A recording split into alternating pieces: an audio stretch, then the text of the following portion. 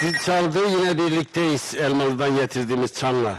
Bugün yine hafta e, bugünkü sabah programını açtık. Bugün 19 Eylül 2017 Salı. Dünyada, Türkiye'de ve Antalya'da dün neler oldu? Dünden e, bugüne sarkanlar neler, ekranlara düşenler neler, gazete sayfalarında neler var neler yok hepsine bakacağız. Onları sizlerle birlikte bir süre saat 09.45'e kadar birlikte olacağız. Evet okullar açıldı, sorunlar da birlikte başladı. Zaten eğitimdeki sorunları bir türlü çözebildiğimiz yok, çözebilme şansımız da yok diye düşünüyorum. Niye? Çünkü benim oğlum bina okur, gider gelir yine okur. Aynı sistem yani sistem değişmiyor. Sistemsizliği sistem kabul etmiş ülkelerde böyle şeyler devamlı olacaktır. Bugün gazetelere neler dünden aksetmiş mesela işte yeni ay bükelerden ders, ilk ders 15 Temmuz, ondan sonra Antalya'da eğitim sezonu başladı, eğitim öğretim sezonu başladı. İşte ne kadar öğrenci var, ne var, ne yok onları konuşacağız zaman zaman. Eğitimdeki sıkıntıları konuşacağız, ulaşımdaki sıkıntıları konuşacağız. Güzel şeylerden de söz edeceğiz. Mesela Antalya'da gerçekten çok güzel bir şey var, e, deniz var. Antalya'da çok güzel bir doğa var ama zaman zaman bu doğayı da bozuyoruz. Bu doğanın içerisinde ne var ne yok onlara da bakacağız. Evet, e, geçtiğimiz gün yani iki gün önce yaşanan kazanın ve beş tane eee, çevre gönüllüsünün hayatını kaybettiği kazayla ilgili bugün farklı haberler var. Eee, sporda, Antalya Spor'da bir eee, teknik direktör değişimi var. Hoca istifa etti deniyor. Ben istifa ettirildi tarafındayım. Niye istifa ettirildi? Rıza Çalınbay geçen yıl geldiğinde bu takım tel tel dökülüyordu ama bu yıl nedense bu kadar dayanamadılar. Niye dayanamadılar? E bu kadar yıldızı bir arada taşırsanız, yıldız diye geçinen yıldızları taşırsanız yani sönmüş yıldızları taşırsanız ve bu sönmüş yıldızların bazıları hocayı istemez, bazıları ister bilmem ne olur. Yönetim de bu e, süreci iyi götüremezse ondan sonra ne olur? İlk kurban hoca olur. Evet böylelikle Rıza Çalınbay'ı yediler daha doğrusu Türkçe deyimi, Türkçe karşılığı bu. Rıza Çalınbay'ı yediler. Niye yediler, yediliklerini? Zamanla ortaya çıkacak. Şimdi bu yeni gelecek olan hoca e, bir birkaç isimden söz ediliyor. Acaba yeni gelecek hoca daha önce bu takıma yani Antalya Spor'a e, herhangi bir futbolcunun menajerliğini yaptı mı yapmadı mı? İtalyan-Fransız işbirliği ortak bir yapım var mı yok mu? Onlara da e, gerçi sporda daha çok bakıyorlar. Ben o konuya pek girmiyorum ama yani bu süreç önümüzdeki haftada buna bir bakın. Dün Galatasaray'ın e, 2-0 şey Galatasaray diyorum özür, özür dilerim. Beşiktaş'ın 2-0'lık galibiyeti vardı. Ondan sonra Alanya Spor maçıyla ilgili, hakemle ilgili Alanya Spor Başkanı'nın e, dün akşam televizyona bağlanıp hakem bizi yaktı sözüne aynen katılıyorum. Gerçekten Alanya Spor'un verilmeyen iki tane penaltısı var Fenerbahçe maçının maçında. İşte böyle olunca daha ne oluyor? Bakın sabah beri saydıklarımızda yüzümüzü güldüren hiçbir şey çıkmadı. Ama dün güzel bir şey vardı. Neydi? Dün Ahi Evran e, şey törenleri vardı. 21. kez yapıldı Antalya'da. Ahilik kutlaması yapıldı. Ahilik neymiş ne değilmiş onların görselleri yapıldı. Gerçekten de hoştu. Bak yüzümüzün güldüğü bir şey var. Yerel gazetelerde de gerçekten yüzümüzü güldüren herhangi bir şey yok. Bir tek o haber var. Diğerleri e, yine malum. Ajanslardan toplama haberler. Bu, bu tür şeyler. Evet böylelikle bizde ilk ha bugün bir de bir de bir şey var ki bugün bir şey var ki Posta gazetesinde böyle e, yine Antalya yine Antalya'nın göçerler e, göçerleri yani Antalya'nın göçerleri göç göç olduğu anlamında değil. E, göçerlere e, atılmış bir Atatürk büstü göçerlerdeki çalılık alanına Posta gazetesi onu bugün birinci sayfada manşet olarak kullanmış. Eylem kötü, habercilik anlamı güzel. Evet. Başladık bugün. Yine 19 Eylül. Dilerim ki şu anda çocuklar, okula giden çocukların hepsi huzur ve güven içerisinde gidiyordur. Hiçbir e, C plakalı e, minibüs ya da servis aracı yanlış hareket yapmaz, trafikte yanlış yapmaz ve hiçbir e, okulun ihalesine de C plakası olmayan kişiler dahi girmez. Ha, bunu bakın bunu çok iyi e, algılayın bu kelimeyi bedenden içerisinde. Şeyi düşünün ki C plakam yok benim ama minibüsüm, otobüsüm, şuyum buyum var neyse işte o e, servise uygun. Giriyorum ihaleye ve ihaleyi alıyorum eğ- milli eğitimdeki ihaleyi. Ama C plakası yok elimde. Bundan sonra da biz burada feryat ediyoruz. Çocuklarımızın halı ne olacak? Ya da bu ihaleyi ve bu ihaleyi alanın bir de engellileri taşıyacağını düşünün. Yani engellileri taşıyacak olan. Hani denden içerisinde. Çivisi çıkmamış. Çivis çıkmış, delik açılmış, gitmiş, her şey bitmiş. Gerçekten bitmiş. Yani nereye geldiğimizin en şey örneklerinden bunları veriyorum. Ha Antalya'da bu yok. Antalya için konuşuyorum. Şu C plakası olmayıp taşıma e, ihalesine girip taşımayı alan şirketler var Antalya'da. Kim, nasıl, niye, neden alıyor? Buna bakmak lazım. Şimdi bu e, okul servisleriyle ilgili konuştuğumuzda okul servisleri biraz sesini bu oda servisçiler oda sesini biraz çıkardı mıydı bir bakıyorsunuz tepeden biniyorlar. Çünkü o odanın e, valilik, emniyet müdürlüğü, milli eğitim müdürlüğü işte bir sürü müdürlüklerle de şeysi var. E, mecburen e, ilişkisi var. O ilişkiler farklı taraflara çekiyor. Ama şunu bir araştırsın Antalya'daki gazeteci arkadaşlar. Ee, Antalya'da hakikaten elinde hiçbir C plakası olmayan yani servis aracı olan plakası olmayan hangi şirket Antalya'daki taşıma eğitimini e, taşımayla ilgili yani e, öğrenci taşıma ihalesini kazanmış. Bunu bir araştırsınlar. Var mı böyle bir şey? Yoksa ben buradan öyle istediğimi söylüyor muyum? Öyle midir?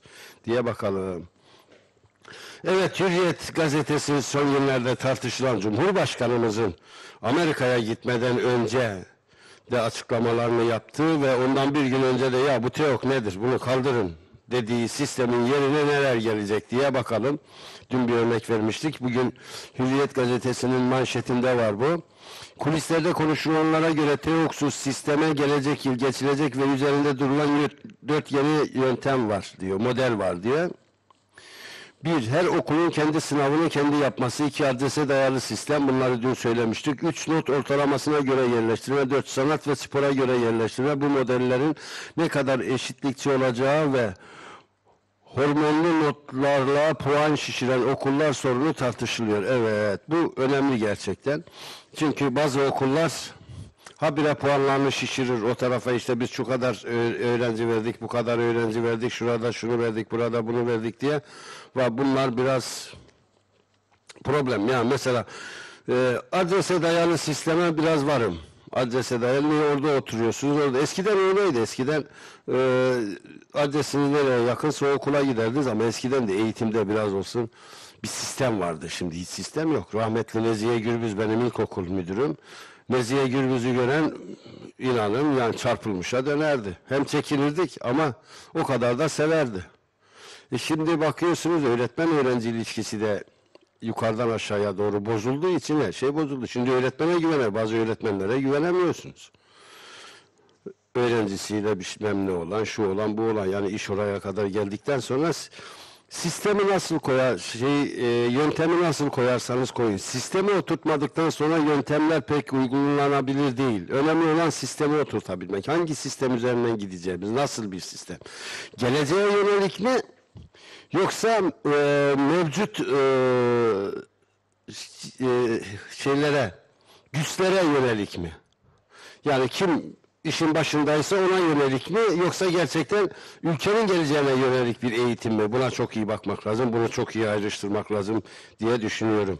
Ama Allah öğrencilere ve öğrenci velilerine ve öğretmenlere ve eğitim camiasına sabır versin. Hepsine değil tabii bazıları bunun içerisinde farklı. Ama gerçekten işini yapan, gerçekten öğretmenlik yapanlara, gerçekten okullarda idarecilik yapanlara Allah sabır versin. Çünkü yarın sabah kalktıklarında ne olacağı belli değil. Evet, şimdi gelelim Hürriyet Gazetesi'ne. İstanbul Birleşmiş Milletler Merkezi olsun demiş. Cumhurbaşkanı Tayyip Erdoğan New York'ta Birleşmiş Milletler binasının karşısında yapılacak Türk evinin temelini attı. BM ile ilgili mesajlar verdi diyor. Birleşmiş Milletler'le ilgili mesajlar verdi diyor. Düzenlenen törende konuşan Erdoğan, Birleşmiş Milletler'in değişen şartlara uyabilmesi için reformdan geçmesi gerektiğini belirterek şöyle konuştu. Bu yıl reform gündem ancak yapısal bir reform çabası görmüyoruz. Asıl olan Birleşmiş Milletler yapısı üzerindeki reformdur. İstanbul'un bir Birleşmiş Milletler merkezi olmasını teklif ettik. İnsani değerler üzerinden inşa ettiğimiz dış politikamız ve diplomasimizi güçlendirmek için bu merkez hedeflerimizi hayata geçirecek demiş. Yani İstanbul Birleşmiş Milletler'in merkezi olsun diyor Sayın Cumhurbaşkanı. Bence bir sakınca yok. Gerçekten de olsun. Ama burada şeyler var işte diyor ki e, insani değerler üzerine e, inşa ettiğimiz dış politikamız ve diplomasimizi güçlendirmek için bu merkez hedeflerimizi hayata geçirecek diyor. Evet dış sorunlarımız da hala devam ediyor. Çünkü hemen o haberin yanında akıllı yol tatbikatı diye bir haber var. Diyor ki Kuzey Irak Kürt yönetiminin referanduma bir hafta kala Türkiye'den Barzani'ye en net mesaj dün sabah sürpriz bir adımla verildi. Yaklaşık 100 tank, fırt, fırtına obüsleri ve zırhlı araçlar Habur sınırında tatbikatı başlattı haberi var. Ee, Kuzey Irak'ta Irak Kürt bölgesi bölgesel yönetimine haftalardır gereken her adımın atılacağı uyarılarına rağmen bağımsızlık referandumundan geri adım atmayan Barzani yönetimi dün sabah sınırlarında Türk tanklarıyla uyandı. TSK 100 kadar M60 ta- tankı fırtına öbüsleri roket atar ve zırhlı araçlarla Habur sınırında tatbikata başladı. Genelkurmay'ın dün sabah saat 09.06'da internet sitesine koyduğu açıklamada tatbikatla eş zamanlı terörle mücadele kapsamında sınır bölgesinde operasyonlar da icra edildiği belirtildi. Askeri kaynaklar Habur sınırında bu gövde gösterisini Türkiye'nin Barzani'ye verdiği kararlılık mesajı olarak yorumlandı. Şimdi bu çok güzel bir şey. Tabii ki Türkiye Cumhuriyeti'nin hemen sınırlarında böyle bir devletin kurulması ki öteden beri buna hep karşı olduğumuzu söylüyoruz. Böyle bir devletin kurulmasına Türkiye elbette müsaade etmeyecektir. O ayrı bir boyut. Fakat şimdi şöyle bir durum var. Barzani'yi geçmişte Türkiye'de kim nasıl karşılıyordu, kim neler yapıyordu? Burada bir bakmak lazım. Tamam bugünkü geldiğimiz noktada ben o gün de Barzani'ye düşüncem aynıydı. Bugün de Barzani'ye karşı düşüncem aynı. O gün de o şekilde karşılanmasını istemiyordum. Bugün de bu şekilde davranışını asla e, tasvip etmiyorum. Ama insanlar gerçekten geçmişi unutmamalılar.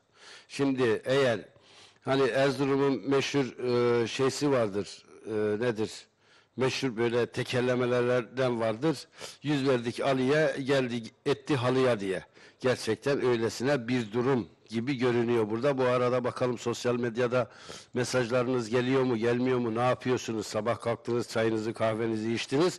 Ama baktınız ki hayatın anlamı çok farklı. Evet öyle de bir durum söz konusu değil mi? Çünkü ne zaman ne olacağı hiç belli olmayan bir e, ortamda yaşıyoruz. E, ney? Dünle bugün arasında o kadar çok büyük farklar var ki.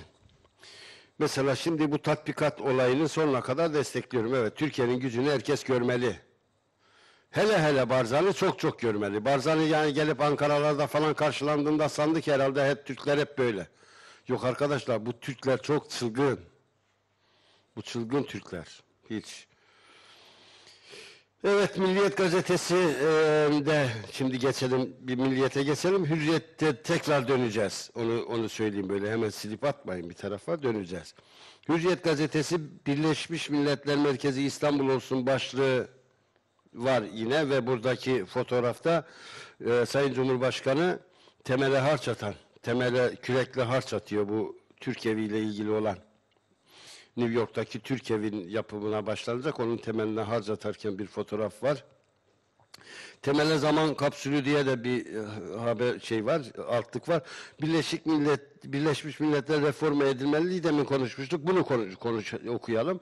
Erdoğan Türkiye kurucu üyesi olduğu Birleşmiş Milletler'e önemli katkılarda bulunuyor. İstanbul'un BM merkezi olmasını tebrik ettik. Yürüttüğümüz etkili diploma demiş ama törende Cumhurbaşkanı Erdoğan'ın kaleme aldığı mektup özel bir kapsülle binanın temeline yerleştirildi diye bir haber de var.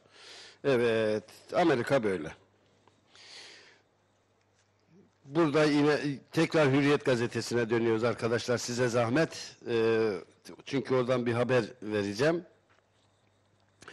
Savaş favelasının umutlu çocukları diye Suriye'nin başkenti Şam'ın kenar mahallesi Mezze 86 savaşı ve yoksulluğu bir arada yaşıyor. İnsan hakları gönüllüleri çocuklara tiyatro, müzik, resimle destek oluyor. Bakın savaşta dahi tiyatro, müzik ve resim. Dün akşam eee, Ali Buldu'nun programına katılan, yüksek tansiyon programına katılan Muratpaşa Belediye Başkanı Ümit Uysal da belediyelerin asli görevlerinin yanında sanatsal e, ve ve sportif görevlerinin de olduğu ve halkı yani idare ettikleri yerlerde bu tür e, yerlerin hazırlanması gerektiğini söylüyordu. Ve belki dün akşam bazıları buna şunu de- demiştir ya bu şeyde bu mu konuşuluyor? Evet konuşuluyor. Bakın savaşta bile müzik, tiyatro, resim çünkü bunlar çok önemli. Özellikle çocuklar üzerinde çok önemli. Çünkü çocuklar yaratıcılıklarını orada en azından keşfedebiliyorlar. Başkentin bir adım ilerisinde savaş ve yoksulluk kendini hemen gösteriyor. Bu mahallede her evden bir yıkım ve ölüm hikayesi duymak mümkün. Bir grup gönüllü 2013'te mahalledeki çocukların ümitsizlik içinde büyümesini engellemek için sanat eğitimine başlamış. Gerçekten bu çok güzel bir olay. Oradaki o ço- fotoğrafta da o genç ve idealist insanlar var. Eğer e, gazete şurada sol altta tam Antalya gündem yazan bölümün üstünde onlar işte genç ve idealist e, insanlar. Evet ona da baktık şimdi. Karadeniz'de bir şeyler oluyor. Neler oluyor? Karadeniz'de fındık para etmiyor diye fındık için yürümeye başladılar. Aa hakkısız kafı şeyin başın şeyini e, cezasını ayaklar çekermiş derlerdi. Gerçekten de öyle oldu. Ve yıllardır çay ve fındık fiyatları üzerindeki spekülasyonlar bitmez. Ama Karadeniz'de yıllardır aynı çileyi çeker ve çile çektirene karşı aynı bağlılığı bildirir. Çok yaşa böyle şey vardır. Karadeniz'de bu vardır. Hani fırtınalıdır denizi işte şöyledir böyledir ama insanıyla denizin arasında epey fark var. Gerçi yine diğer taraflara baktığınız zaman her an dalgalanan, her an parlayabilen bir yapıdır ama Karadeniz yapısı. Şimdi ne, ne yapmışlar? Fındık için yürümüşler. Niye? Fındık niye ölmüyor diye değil. Fındık para etmiyor diye. Bu bir de e, Cumhuriyet Halk Partisi tarafından organize ediliyor bu fındık şeysi, yürüyüşü onu da söyleyelim. Yaklaşık 3000 kişiyle başlayan yürüyüşün CHP lideri Kılıçdaroğlu'nun katılımıyla Giresun'da tamamlanması planlanıyor.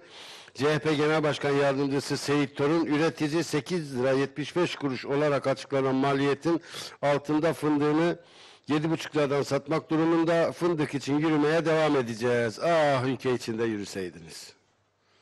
İşte böyle bu işler. Bakın bir ülkede bana dokunmuyor esprisinden o yana ses çıkarmazsanız, herhangi bir yanlışlığa ses çıkarmazsanız yarın o yanlışlık size geldiği zaman da size ses çıkarmayanlar çoğalacaktır. Bu işe böyle de bakmak lazım. Aynı haber Milliyet gazetesinde CHP tarafından düzenlenen ve yarın parti lideri Kılıçdaroğlu'nun katılacağı Giresun'da yapılacak miting de sona erecek. Fındık için yürüyoruz. Yürüyüşü dün Ordu'dan başladı. Bazı CHP milletvekillerinin de katıldığı yürüyüş fındık fiyatlarına dikkat çekmek için yapılıyor. Bakın şu haber geçmişte olsaydı manşetti. Türkiye'de gazeteciliği de biraz olsun bakmak lazım. Çünkü Karadeniz'de hakikaten insanlar emeğinin karşılığını alamıyorlar.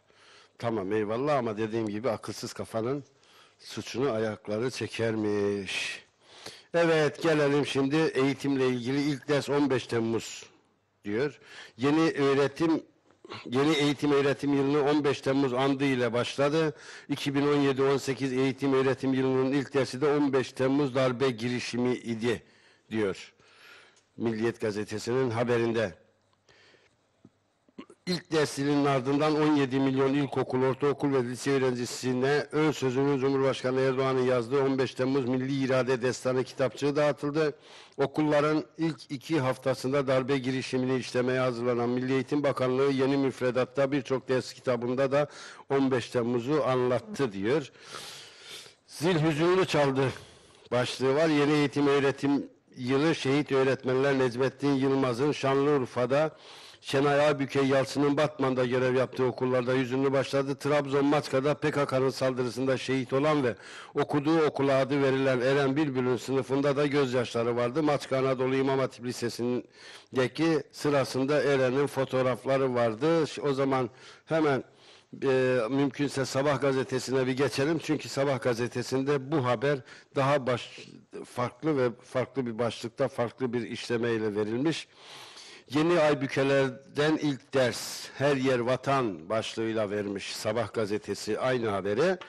PKK'nın Kalles'te şehit ettiği Aybüke öğretmenin sınıf arkadaşları gönüllü gittikleri Güneydoğu'da ders başı yaptı. Teröre inat buradayız. İnsanın tüyleri diken diken oluyor gerçekten. İşte bu kararlılığı gösterebilecek gençlere, bu kararlılığı gösterebilecek iradelere ihtiyaç var. Gençlerden daha önemlisi iradeler. Bu iradeyi nerede oluşturacağız, nasıl hep birlikte kullanacağız ona bakmak lazım. Batman'da PKK'lı teröristlerin 23 yaşında şehit ettiği müzik öğretmeni Şenay Aybüke Yalçın'ın yaktığı meşaleyi onun adının verildiği okulda gönüllü atanan 22 yaşındaki Merve Sırlan devraldı. Evet Merve Hoca'ya da buradan teşekkür ediyorum bir Türk vatandaşı olarak. Sırlan okul açılışında duygularını anlattı. Teröre inat çocuklar öğretmensiz kalmasın diye buradayım. Aybüke Batman'a orası da vatanımız diyerek gelmişti. Bu anlayışla bayrağı devraldım. Çok gururluyum demiş. Şehit Aybüke öğretmenin 7. sınıf arkadaşı da Mardin, Kars, Ağrı, e, Tunceli ve Gaziantep illerinde göreve başladı. Onun cesareti bize ışık tutuyor. Şehit öğretmenler rahat uyusun. Biz onların izindeyiz demiş. Evet gerçekten önemli e, mesajlar. Bunlar önemli mesajlar. Bu iradeye sahip olabilmek. Terörden korkmamak, terörün üzerine gitmek ve teröre lanetsin diyebilmek. Gerçekten güzel bir şey bu. Şehit Eren'in e, sırasına Türk bayrağı konulduğu haberi var. Maçka'da PKK'nın şehit ettiği Eren Bülbül'ün adının verildiği İmam Hatip Lisesi'nde öğretmenleriyle arkadaşları Eren'in sı- e, sırasına çiçek ve Türk bayrağı dikti. Şimdi bu haberler bu tarafı hoş, güzel. E, olması gereken. Niye? Çünkü biz orada koskoca Türkiye Cumhuriyeti e, iki çapulcuya ya da silahlı terör örgütlerine Avrupa'dan oradan buradan beslenen bilmem neyden içeride FETÖ gibi bir yapılanma yaşıyorlara papuç bırakmayacak eyvallah. Fakat şimdi şu insanın aklına şu geliyor. Biz neden bunları koruyamıyoruz? Bir. ikincisi şehit Eren yani Matka'da şehit edilen Eren Bülbül'ün olayında o çocuğu oraya götürenlerle ilgili ne tür işlemler yapıldı bunları da unutmayıp bir kenarda tutmak lazım diye düşünüyorum. Evet bu arada e, gelen yorumlara bakalım. Doğan Demir Ali Dede iyi yayınlar demiş. İyi yayınlar olsun. Hadi size de iyi günler dileyelim. Bayram Dal günaydın iyi yayınlar. Ali Baba demiş. Günaydın diyelim biz de. Sıdık Ahmet Elik günaydın iyi yayınlar. Aydınlık huzurlu günler diliyoruz. Hepimizin istediği o. Ee, Şafak Akpınar bulutların ülkesi Yeşilemşin'den günaydın iyi yayınlar. Bizden de Yeşilemşin'e günaydın iyi ya- iyi yayınlar. Yaylalar artık bitti. Yani bitti derken yayla zamanı bitti. Yalnız yaylalara e, başkaları girip çıkamasın evlere diye yayla yollarının belirli bir şekilde kapatılması gerekiyor. Buradan Yeşilemşin'e, orada oturan insanlara, hemşin halkına e, Çamlı hemşin halkına da hemşin halkına da açıklama e, şey bir mesaj göndermiş olayım. Nurettin Lemanutlu sağlıklı günler 19 Eylül 1921 yılında Türkiye Büyük Millet Meclisi'nde Başkomutan Mustafa Kemal Atatürk'ümüze Marşal rütbesiyle gazi ünvanının verildiği Gaziler Günü kutlu olsun demiş.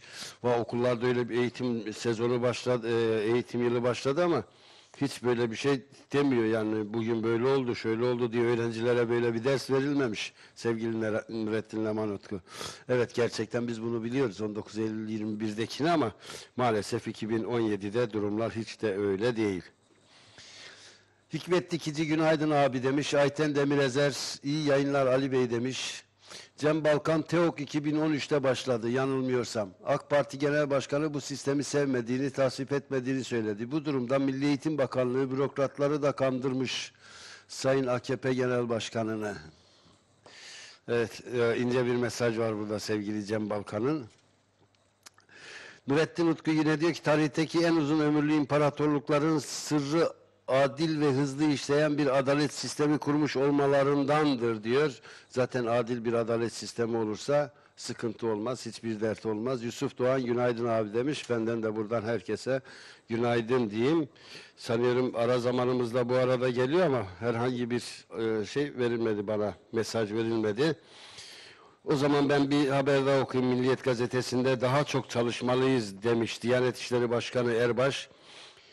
Törenle görevine başladı. Erbaş yaptığı konuşmada FETÖ, PYD'nin genç beyinleri sömürerek insanımızın hayır, hayır duygularını istismar ederek gizemli ve bulanık bir din anlayışıyla itikadi ve ameli düzlemde oluşturduğu hasarı onarmak için daha çok çalışmamız gerekiyor dedi. Evet, güzel söylemiş. Hayırlı olsun. Ben şimdi Erbaş'a şunu Erbaş'tan şunu merak ediyorum. Önümüzdeki Ramazan ayında önümüzdeki Ramazan ayında acaba yine dini hiç bilmeyen, dini bildiklerini iddia eden ve dini sömürerek insanları beyinlerini yıkayan, İslam diniyle ilişkisi olmayan soruları alıp onlara olmadık cevapları veren programlarla ilgili ne yapacaklar? Diyanet İşleri bununla ilgili ne tür çalışmalar yapacak diyelim ve şimdi ne yapıyoruz? Elmalı'dan getirdiğimiz çanla kısa bir ara veriyoruz. Thank you.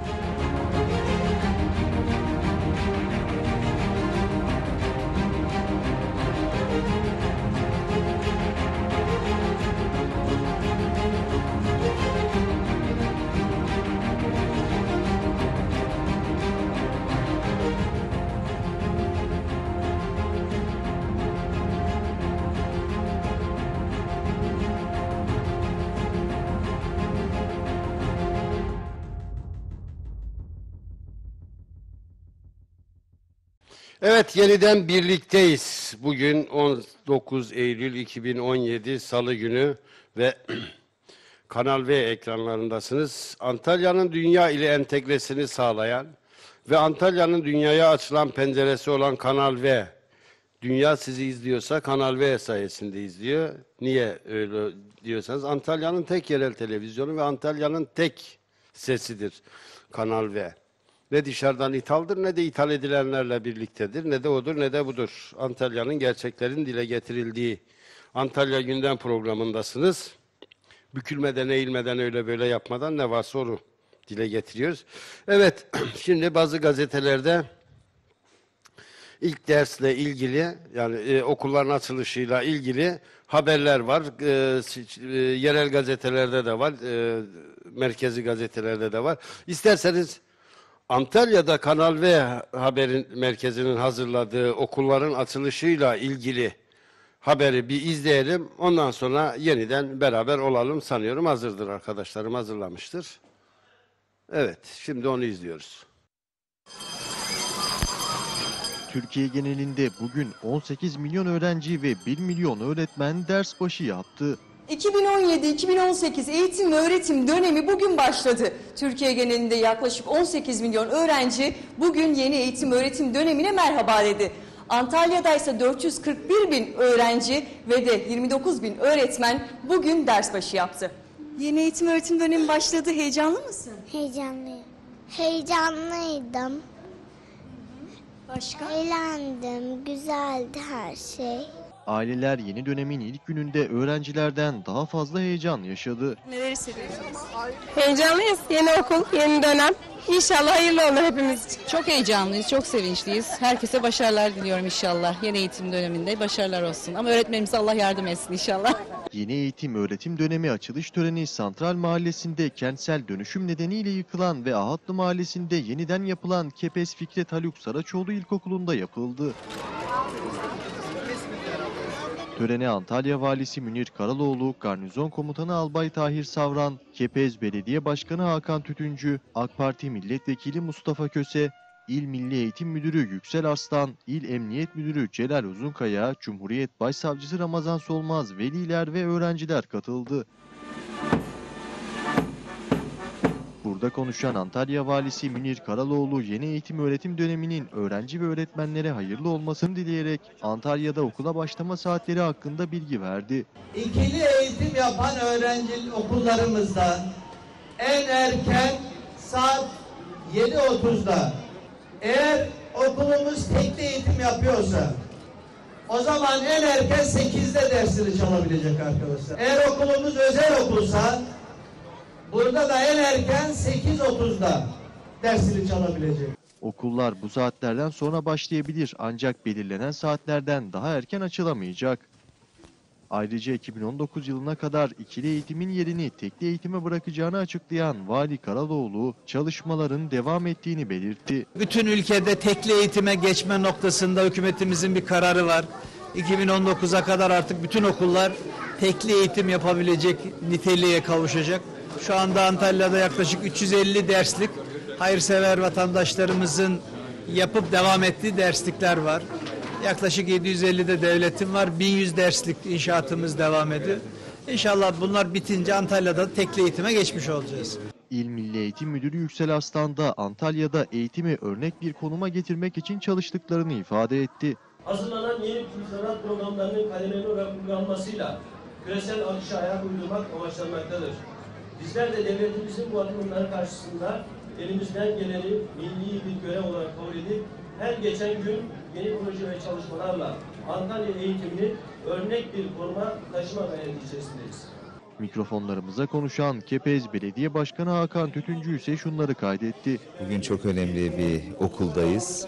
Yeni Doğan mahallemizdeki mahallelilerimizin çok fazla taleplerinin olduğu bir bölgede yapmış olduğumuz, devlet olarak yapmış olduğumuz yeni bir okulun açılışını yapıyoruz. Dolayısıyla heyecanlıyız. Öğrencilerimize, öğretmenlerimize ben başarılar diliyorum. Kanal V mikrofonlarına konuşan AK Parti Antalya Milletvekili Mustafa Köse de yeni dönemin hayırlı olmasını temenni etti. Vallahi çok güzel bir ortam. Ee, çok güzel bir törenle açılışımızı gerçekleştirdik. İlk zilimizi çaldık. Hayırlı uğurlu olmasını temenni ediyoruz. Hem öğrencilerimize, hem öğretmenlerimize, hem velilerimize, ailelere. Evet, eğitim öğretim yılımız başladı. İlk e, baş öğretmeni hatırlarsınız şöyle tahta başında bir Atatürk yeni harfleri öğretiyor. Ve Atatürk Türkiye Cumhuriyeti'nin dili olan Türk dilini de gelişmesi için Türk Dil Kurumu'nu kuruyor.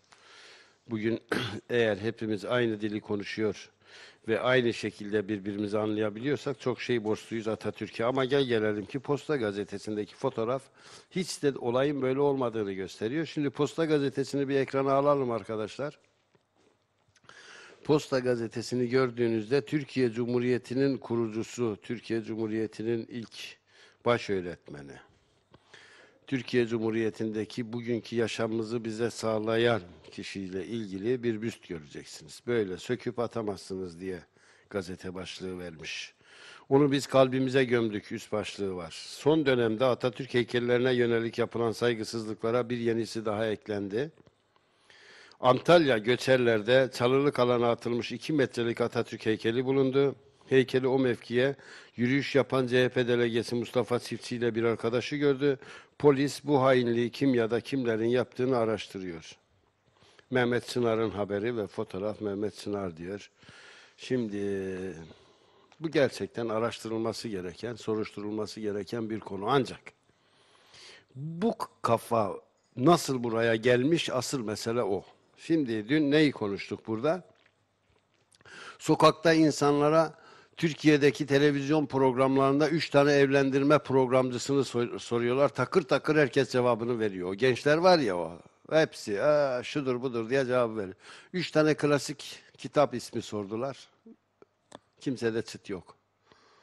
İnanın kimsede çıt, çıt yok.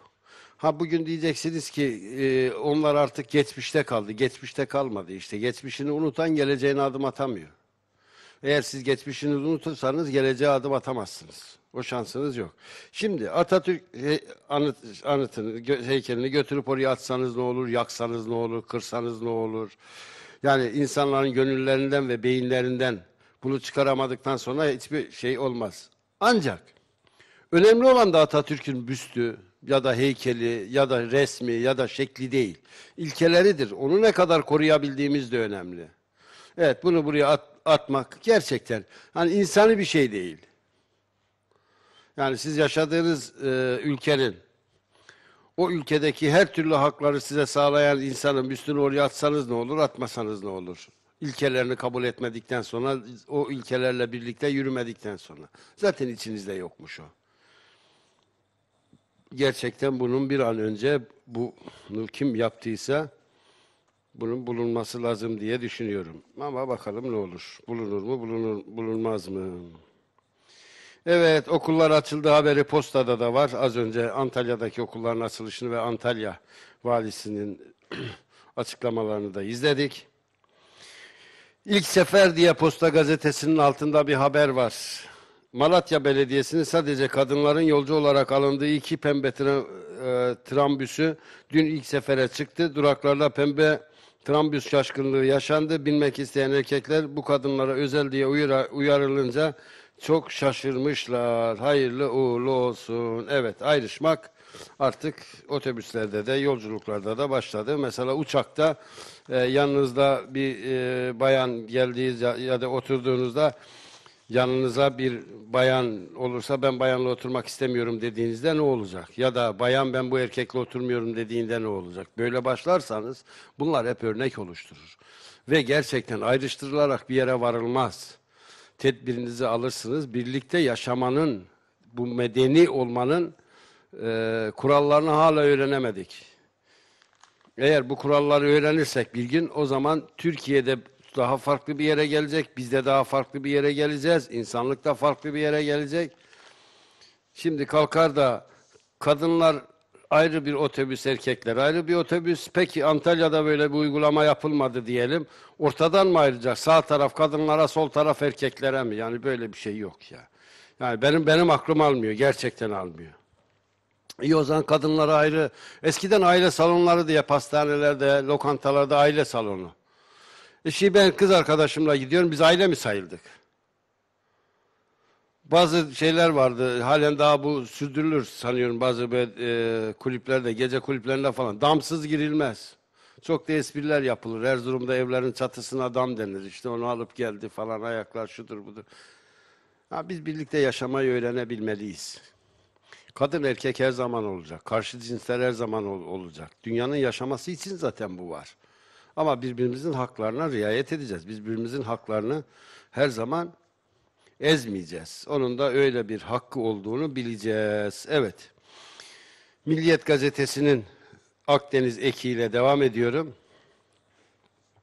Diyor ki okul telaşı diyor. Eğitim öğretim sezonu açılınca trafik felç oldu. İlk dersili dün çalınca Antalya'da 07-09 saatleri arasında trafik kilitlendi diyor.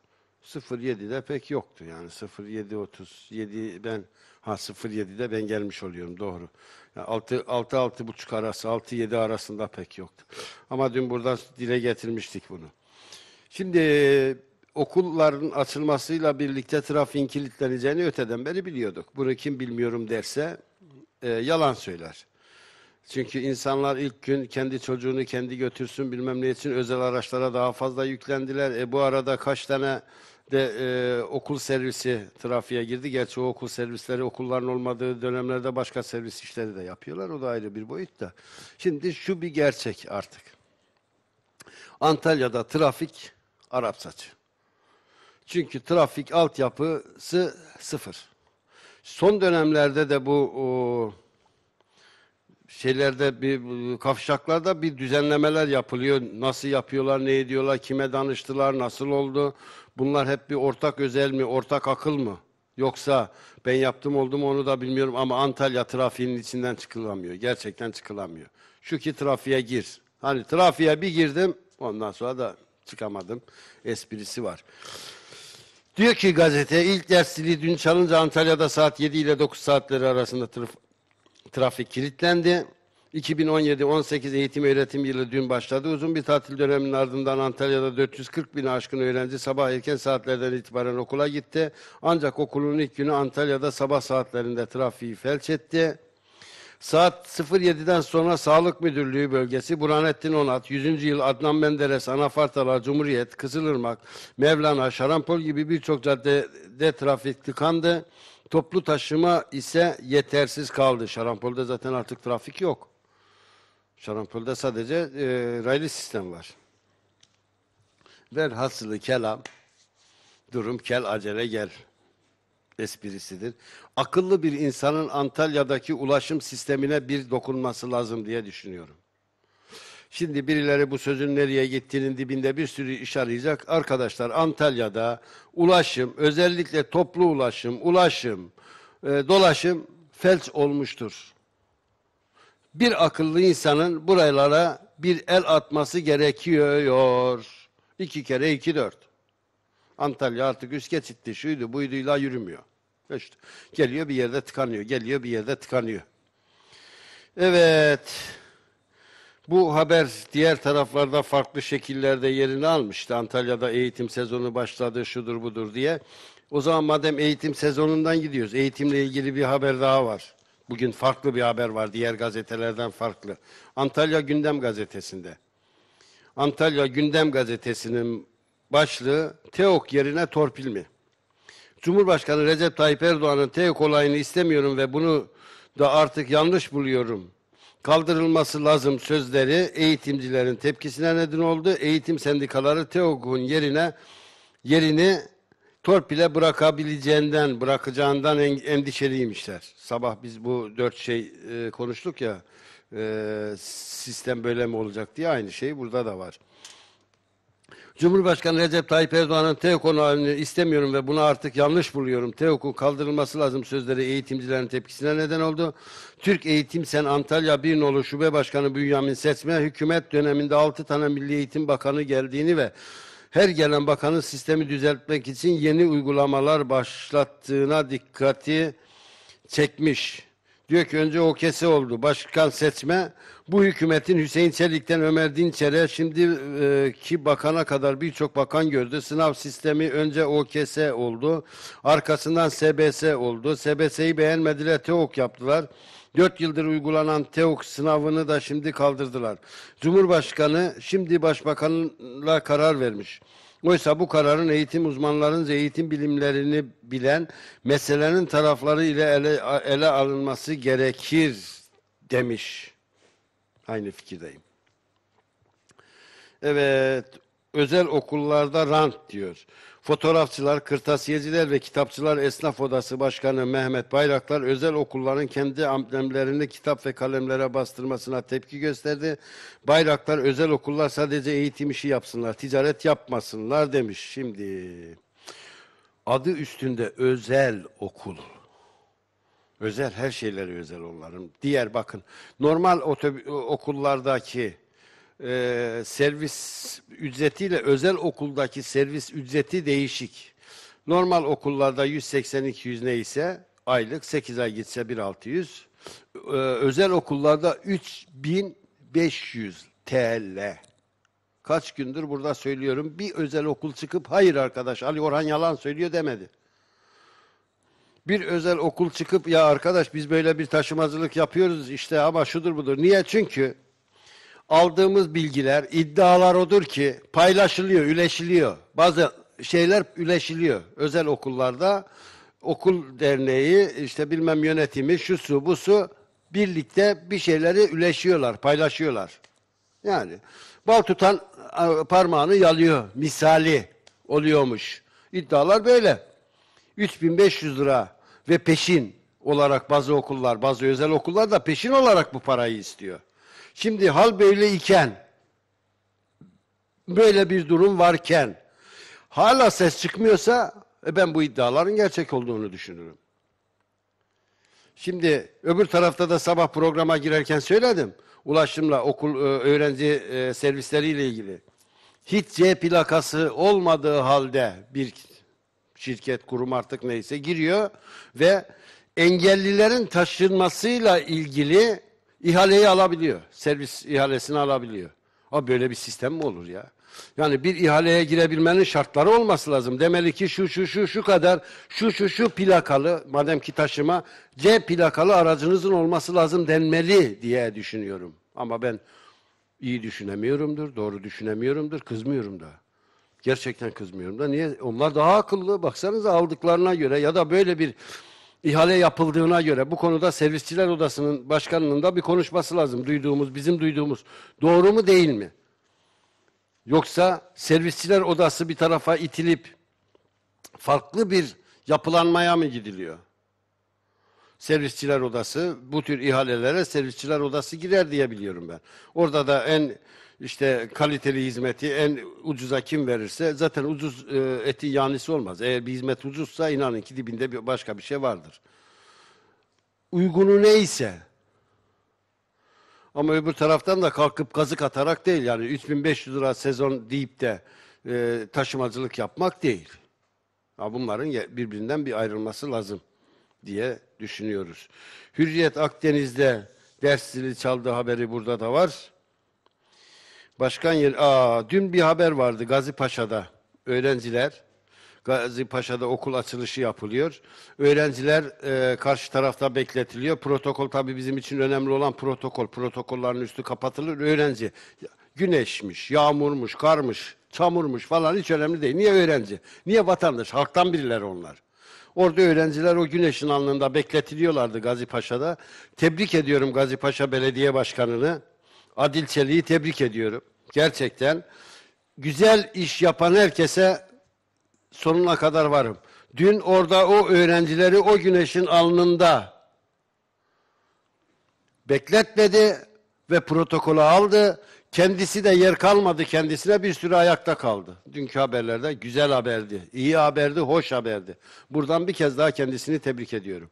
Arkadaşlar bakın demek ki işini güzel yapan insan kim olursa o görüştedir, bu görüştedir, şudur budur önemli değil. Önemli olan yaptığı eylemi.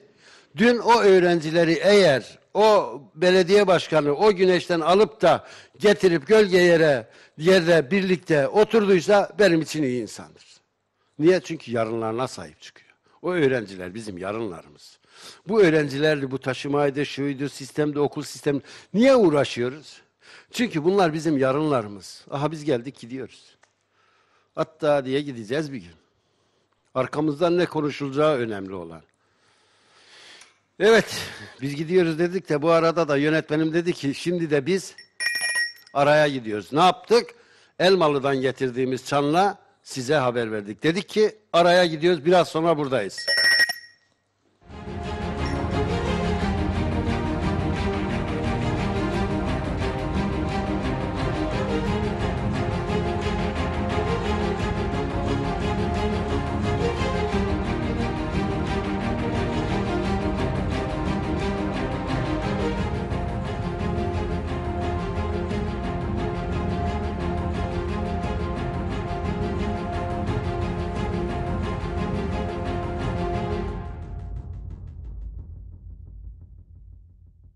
Evet, yeniden sizlerle birlikteyiz.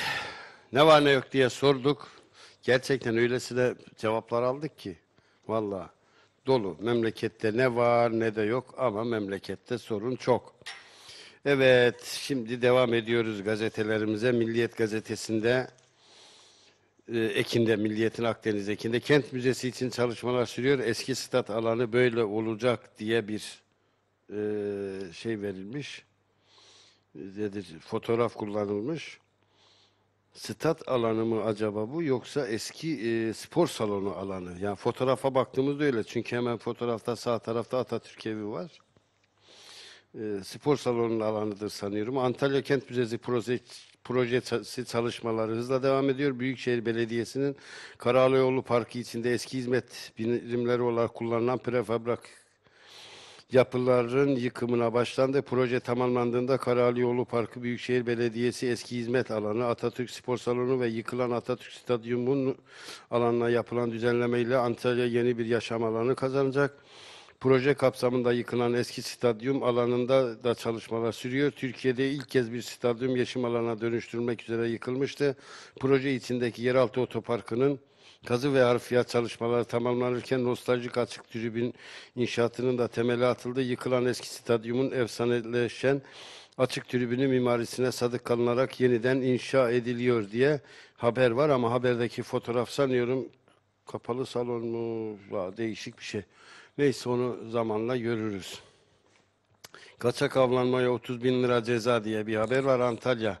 Akseki Doğa Koruma ve Milli Parklar Müdürlüğü ekipleri İbradı'nın Ürünlü Mahallesi yakınlarındaki Katlancı mevkiinde Kenan Kağan'ın kullandığı 07 Lüleburgaz Muğla Jandarma 72 plakalı hafif ticari araçta arama yaptı. Aramada 2-3 yaşlarında olduğu tahmin edilen iki yaban keçisine ait et ve ruhsatlı av tüfeği ele geçirildi. Koruma altında ve avlanması yasak olan keçiyi kaçak avlandığı belirtilen Kenan K'ye 30 bin lira ceza kesildi haberi var. Evet.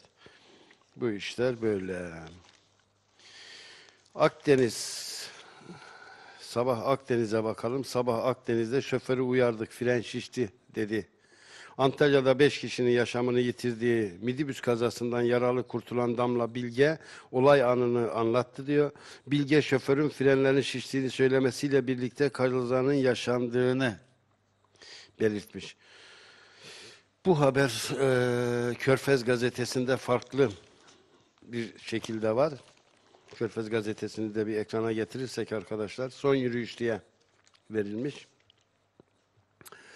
Ee, şimdi şoförü uyarılar şoför e, şiştiğini söylüyor. Frenlerin şiştiğini söylüyor. Öbür tarafta cenazeler dün toprağa verildi. Şimdi e, önce olayın oluş şey bak son son yürüyüş vermiş. Körfez gazetesi de son yürüyüş diye veriyor. Adrasan yolundaki feci kazada dört arkadaşıyla birlikte hayatını kaybeden göç yolu yolcularının lideri Ali Çetin toprağa verildi. Çetin'in, Çetin'in mezarı başında her gezi sonrasında kendisinin yaptırdığı gibi efkar dağıtılacak dağıt komutuyla of of çekildi diye e, şeysi var. E, gerçekten hayat dolu, hayata farklı bakan. Çünkü doğa severdi her şeyden önce. İnsanlardı bunlar. Özellikle de sevgili Ali Çetin e, espriyi seven, böyle e, çocukla çocuk, büyükle büyük olan, aşırı derecede doğa sevgisini herkese yüklemeye çalışan bir değerli dostumuzdu. Evet bakalım ne demiş şoför. Antalya'nın Kumlucu ilçesinde Manavgat'tan Adrasan'a tekne turu için giden tür midibüsü, midibüsünün uçuruma yuvarlanması sonucu 5 kişinin hayatını kaybettiği 6 sığar 26 kişinin de yaralandığı kazadan sonra şirket ve midibüs şoförü mercek altına alındı. Kazadan yararlı kurtulan Damla Bilge olay anını sabah Akdeniz'e anlattı. Bilge şoförü uyardık bize fren şişti diye cevap verdi. Sonra uçuruma yuvarlandığımızı hatırlıyorum dedi. Bilge teyzesi Gülsüm Çekic'in yaşamını yitirdiğinden henüz habersizmiş. Turu organize eden Ali Çetin de yaşamını kaybettiği kazadaki midibüsü kullanan sürücü Hasan Bıyık'ın yoğun bakımdaki tedavisi ise sürüyor. Yaşamını yitiren 5 kişinin cenazeleri ise toprağa verilmeye başlanırken törenlerde acı ve gözyaşı vardı. Bir e, Şen Tür firmasının sahibi Soner Şen'in fotoğrafı var burada. Midibüsün bağlı olduğu fir, tur firmasının sahibi Soner Şen, midibüsün ve şoförün evraklarının eksiksiz olduğunu söyledi. Şen, kaza anında aracımızın hızı 62 kilometreydi dedi demiş. Evet kaybettiğimiz Ali Çetin, Hasan Yorulmaz, Mehmet Fıçı, Gülsüm Çekiç ve Ali Özdemir'e bir kez daha e, mekanları cennet olsun diyoruz. Işıklar içinde yürüsünler. Allah Allah cennetine kavuştursun diyoruz. Çünkü elden gelen başka bir şey yok. Evet bu arada Körfez gazetesiyle devam edelim. Son yürüyüş. Adrasan yolundaki Fedi onu konuştuk. Adrasan yolundaki uçurma yuvarlanan midibüste dört arkadaşıyla birlikte hayatını kaybeden göç yolu yolcularının lideri Ali Çetin, Manavgat'ın Namaras köyünde toprağa verildi. İkindi namazına mütakip kaldırılan Çetin'in cenazesi mezarlığa omuzlarda taşındı diyor. Cenaze nam- e, namazına CHP milletvekili Devrim Kök, AK, AK Parti milletvekilleri İbrahim Aydın, Manavgat Belediye Başkanı Şükrü Sözen, milletvekili ha milletvekili AK Parti milletvekili İbrahim Aydın, Manavgat Belediye Başkanı Şükrü Sözen göç yolu yolcuları ve kalabalık bir kitle katıldı. Göç yolu yolcuları arasında Neptün Halil diye tanınan Halil Yıldırım Ali Çetin için yazdığı şiiri okudu diyor. Gözyaşları içerisinde efkar, göç yolu yolcuları üyesi Hilmi Koçak'ın katıldıkları ev gezi sonrası Ali Çetin'in yaptırdığı gibi efkar dağıtılacak. Dağıt komutuyla arkadaşları mezarı başında gözyaşları içinde of of çekti. Mezarın üstüne Ali Çetin'in dağcılık bastonları, fuları ve grubun filaması bırakıldı. Haberde Körfez gazetesinin haberinde bu var. Ders çaldı haberi burada yine var. Evet, ahilik haftası törenle kutlandı haberi var. 21. ahilik kültürü haftası nedeniyle düzenlenen törende AESOP Başkanı Adlı Handere dünyaya düzen ve hizmet verme iddiasında olan ahiler misyonlarını yerine getirebilmeleri için önce kendilerinin mükemmel olmaları gerektiği bilincen, bilincindedirler dedi ve biz de burada noktayı koyalım. Haber merkezimizin Kanal ve Haber Merkezi'nin hazırlamış olduğu dünkü ahilikle ilgili haberi izleyeceğiz. Ondan önce şunu diyeyim. Dünkü bu törenler Kanal V tarafından dünyanın bütün e, her tarafına canlı olarak yayınlandı. Hatta orada tören alanının sırasında töreni canlı olarak izleyenler zaman zaman e, Adlıhan Dere'yi arayıp e, şeyi izlediklerini, töreni izlediklerini ve kendisini tebrik ettiler. Böyle güzel bir şey yaptığı için e, tebrik ettiler. Şimdi onunla ilgili haberimizi bir bakalım ve ondan sonra yeniden birlikte olalım. 21. Ailelik Kültür Haftası Antalya'da düzenlenen törenle kutlandı. Yılın ailesi Sayın Fevzi Bey'e, Sayın Valim Bey'e de plaketimiz Sobacılar Çarşısı Ahi Evran Meydanı'ndaki programa Vali Münir Karaloğlu, Büyükşehir Belediye Başkanı Menderes Türel, AK Parti Antalya Milletvekilleri Mustafa Köse, İbrahim Aydın, ilçe belediye ve esnaf oda başkanları katıldı. Ev sahibi Antalya Esnaf ve Sanatkarlar Odaları Birliği Başkanı Adlan Dere, aileliğin temelinin 12. yüzyılda Kırşehir'de atıldığını, buradan Anadolu'ya yayıldığını anlattı. Osmanlı Cihan Devleti'nin temelinde ilk harcı koyan, bugün Türkiye Cumhuriyeti'nin toplumsal yapısının özüne kaynaklık eden ahilik 800 yıl önce günümüze açılan akıl, bilim, ahlak ve çalışma kapısını teşkil etmektedir. Vali Münir Karaloğlu, Ahi Evran'dan bugüne taşıdığımız değerlerin yaşatıldığını ifade etti. Verdiğimiz belgelerin ismi değişmiş olabilir. Ünvanların ismi değişmiş olabilir ama kültürümüz, özümüz Ahi Evran Hazretleri'nin öğretisinde neyse bugün de bu milletin özünde, kültüründe, medeniyetinde aynı özellikler vardır. Büyükşehir Belediye Başkanı Menderes Türel ise ailelik kutlamalarının turistik etkinliklere dönüştürülmesi vurgusu yaptı. Şehir merkezimizin canlanması için ahilik geleneklerimizi canlandırmalı ve turistik bir etkinliğe bunu dönüştürmeliyiz. Mesela bu töreni daha da zenginleştirsek inanıyorum ki gelecekte hem halkımızın hem de turistlerin görmek isteyeceği bir geleneksel etkinlik söz konusu olabilir. Yılın ailesi Fevzi Aykut'a Vali Karaloğlu ve AESOP Başkanı Dere ailelik kaftanını birlikte giydirdiler. Sayın Valim Bey'e de plaketimiz var efendim. Yılın ailesi Meydanda ahiliğin anlatıldığı şet kuşatma gösterisi sergilendi. hak ver. Her ne zaman bu teraziyi eline alasın, ahiret terazisini almak gerek. Yakından bilesin ki Öte yandan program kapsamında AYASOP Başkanı Adnan Dere ve esnaflar Antalya Valisi Münir Karaloğlu'yla Büyükşehir Belediye Başkanı Menderes Türel'i ziyaret ettiler. Ziyarette AYASOP Başkanı Dere, Vali Karaloğlu'na Antalya ahisi olarak kaftan giydirdi. Evet Sayın Valimiz Münir Karaloğlu'na kaftan da yakıştı gerçekten. Ahilik kaftanı da yakıştı. Evet ahilik gerçekten usta çırak ilişkileri çok farklıdır. O sistem çok değişik bir sistemdir. O sistemden uzaklaştığımız için de böyle. Ge- geçtiğimiz günlerde Elmalı'daydım. Elmalı'da demirciler ne yapıyor diye demirciler çarşısına gideyim dedim. Demirci kalmamış zaten Allah'a şükür. Bir tane demirci vardı. 60 yıldır bu işi yaptığını, 7 yaşında işe başladığını söylemişti. Ee, ve küçücük bir dükkanda mütevazi bir hayatı var ve halen daha demir dövüyordu. O haliyle hala daha demir dövüyor. 60 yıl gerçekten meslekte çok uzun bir yıl. Peki dedim sizden sonra hani çocuklarınız, evlatlarınız ya da yeni çıraklar yetişiyor mu? Yetişmiyor dedi. Yok artık dedi. Fakat dükkan böyle hani 70 60 yıl özür 60 yıl size hizmet etmiş bir dükkan düşünün. Birçok şeyi ilk günkü gibi. Hatta bazısı örsler ezilmiş, çekiç orada farklı, duvarlar çok farklı. Her tarafı bir anı kokuyor ve 60 yılın buram buram emeği, alın teri var orada. Körük halen daha çalışıyor. Körüklüler çalışıyordu. Hala demir ısıtıp şiş yapıyordu.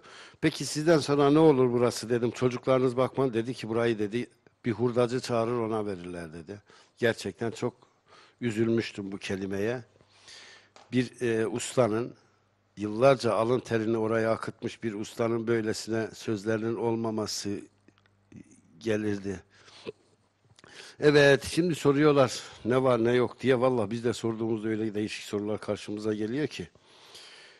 Hürriyet gazetesinin ekine bakıyoruz. Akdeniz ekine. Dayak yemedi böyle oldu diyor. İl müdüründen kriz yanıtı.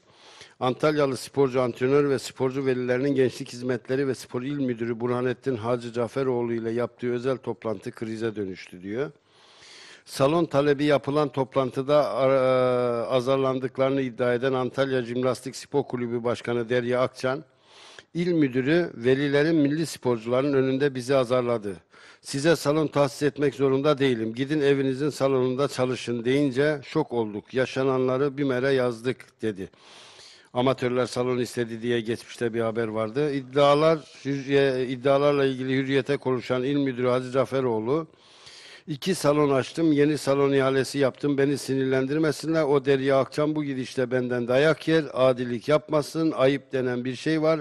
Nereye şikayet ediyorlarsa etsinler, o dayak yemediği için böyle oluyor diye konuştu. Eğer böyle demişse hakikaten vallahi hiç... Aha. Gerçekten sustum. Yani bir e, il müdürü bu şekilde kendisinden istenilen herhangi bir hizmette bunu söylüyorsa kimseden bir şey istemiyorum. Ee, toplu ulaşımla, ulaşımla, taşımayla, şununla, bununla, Antalya'da hizmetle, şununla, bununla ilgili söylediğim her şeyi geri aldım ben gidiyorum ya. Böyle bir şey yok ya. Gerçekten yok yani. Siz orada o görevi yapacaksınız. İnsanlar sizden talepleri olacak. Bunun önüne, bu konuya bence Antalya Valiliği el koyacaktır. Nedir ne değildir ortaya çıkar. Yılın ahisi haberi Hürriyet'te de var.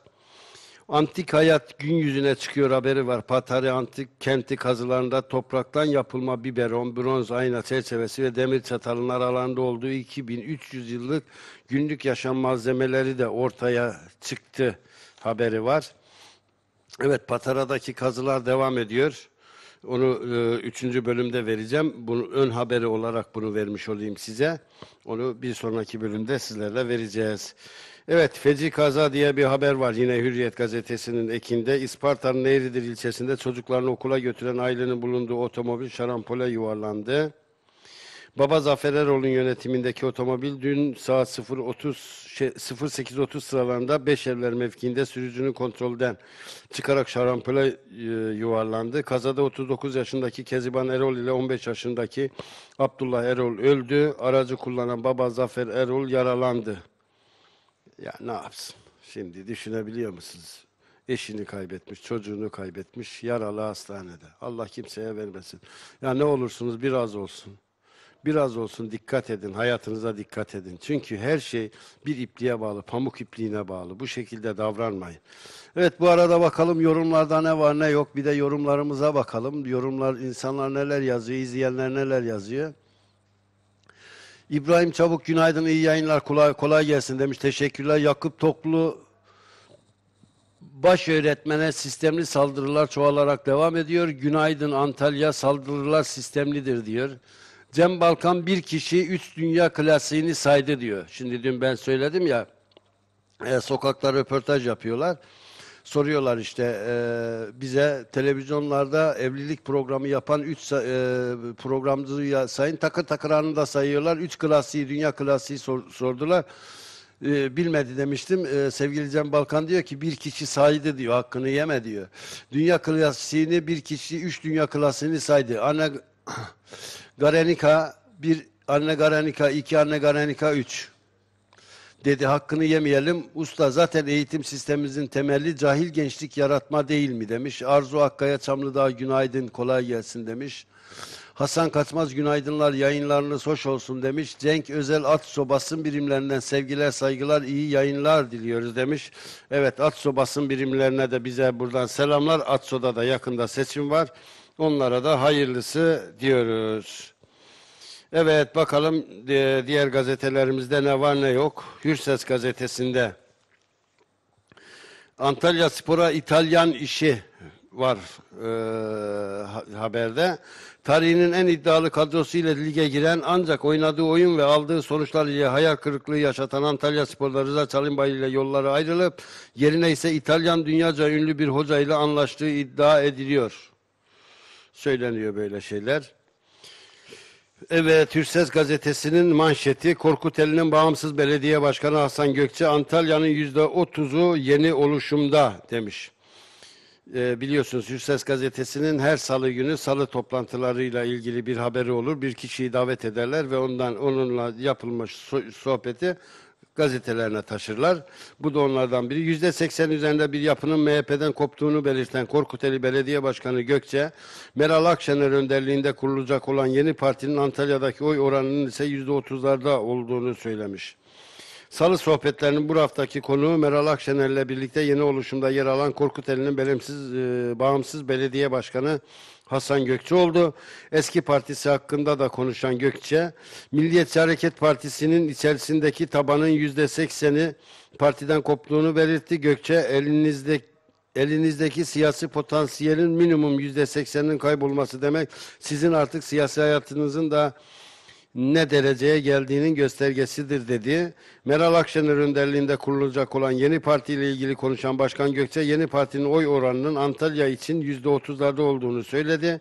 Yeni oluşumun herkese kucak açtığını belirten Başkan Gökçe kollarımızı açabildiğimiz oranda herkesi kucaklamaya çalıştığımız bir oluşum. MHP'nin içinde sadece ülkücü milliyetçi düşünceye açık bir kapımız vardı ama şimdi kollarımızı açabildiğimiz kadar açabiliyoruz diye konuşmuş şimdi. Evet gerçekten Hasan Gökçek, Hasan Gökçe belediye başkanı e, partisiyle ilgili ta ilk baştan beri yollara ayırmıştı. Hasan Gökçe farklı bir profil çiziyordu. Hasan Gökçe ve arkadaşlarına bu çıktıkları yolda başarılar dileyelim. Hürses gazetesinin alt say- şeysinde e, stadyumun ruhu parkta yaşayacak haberi var. Burada asıl fotoğraf burada doğru kullanılmış. Onu hemen söyleyeyim Hürses gazetesindeki. Dün Hürses'te e, Yörex'le ilgili bir açıklama vardı. Rus Gıda ve Tarım Hayvancılık Bakanı Yörex fuarına geldiği halde Türk Bakan Yardımcısı gelmedi diye onunla ilgili bir açıklama gelmiş. Ee, dünkü diyor Hüses gazetesinin manşet haberinin ve Ebru Küçükaydın'ın köşe yazısındaki yorumunda yöresel ürünler fuarına Rusya Federasyonu Tarım Bakanı Yardımcısı Gromiko katılırken Antalya'da olmasına rağmen fuarı ziyaret etmeyen Gıda Tarım ve Hayvancılık Bakan Yardımcısı Mehmet Danış yer almıştı. Dünkü yayının ardından önce Bakanlık Basın Müşavirliğinden ara, ardından da Antalya İl Müdürü Mustafa Sözen'den açıklama geldi. Program yoğunluğu nedeniyle danışın fuara katılamadı. İl Müdürü'nün fuar organizasyonunda itibaren Antalya Ticaret Borsası ile birlikte işbirliği içerisinde olduğu açıklamasını yapmışlar. Biz de dün bu haberi verdiğimiz için buradan bu açıklamayı sizlerle paylaşmış olduk. Evet. Bakalım diğer gazetelerimizde ne var? Gazete 1'de ee, kardeşliğin ete kemiğe bürünmüş hali diyor ahilik ateşi. Burada da var 21. Ahilik Kültür Haftası Antalya'da törenle kutlandı. Törende konuşan Büyükşehir Belediye Başkanı Menderes Türel bir şehir esnafı ile gelişir, bereketlenir. İşte bu sebeple yatırımlar yapılıyor. Cadde ve meydanlarımızı güzelleştiriyoruz dedi. Ee, Dere'den kardeş bu haberi daha önce izlemiştiniz. Bu haberi vermiştik ama onu bir kez daha buradan belirtelim. 21. Aylık Haftası Etkinlikleri Başkanı Menderes Türesi'nin hizmete açtığı Demirciler İçi Çarşısı Ahi Meydanı'nda düzenlenen törenle kutlandı.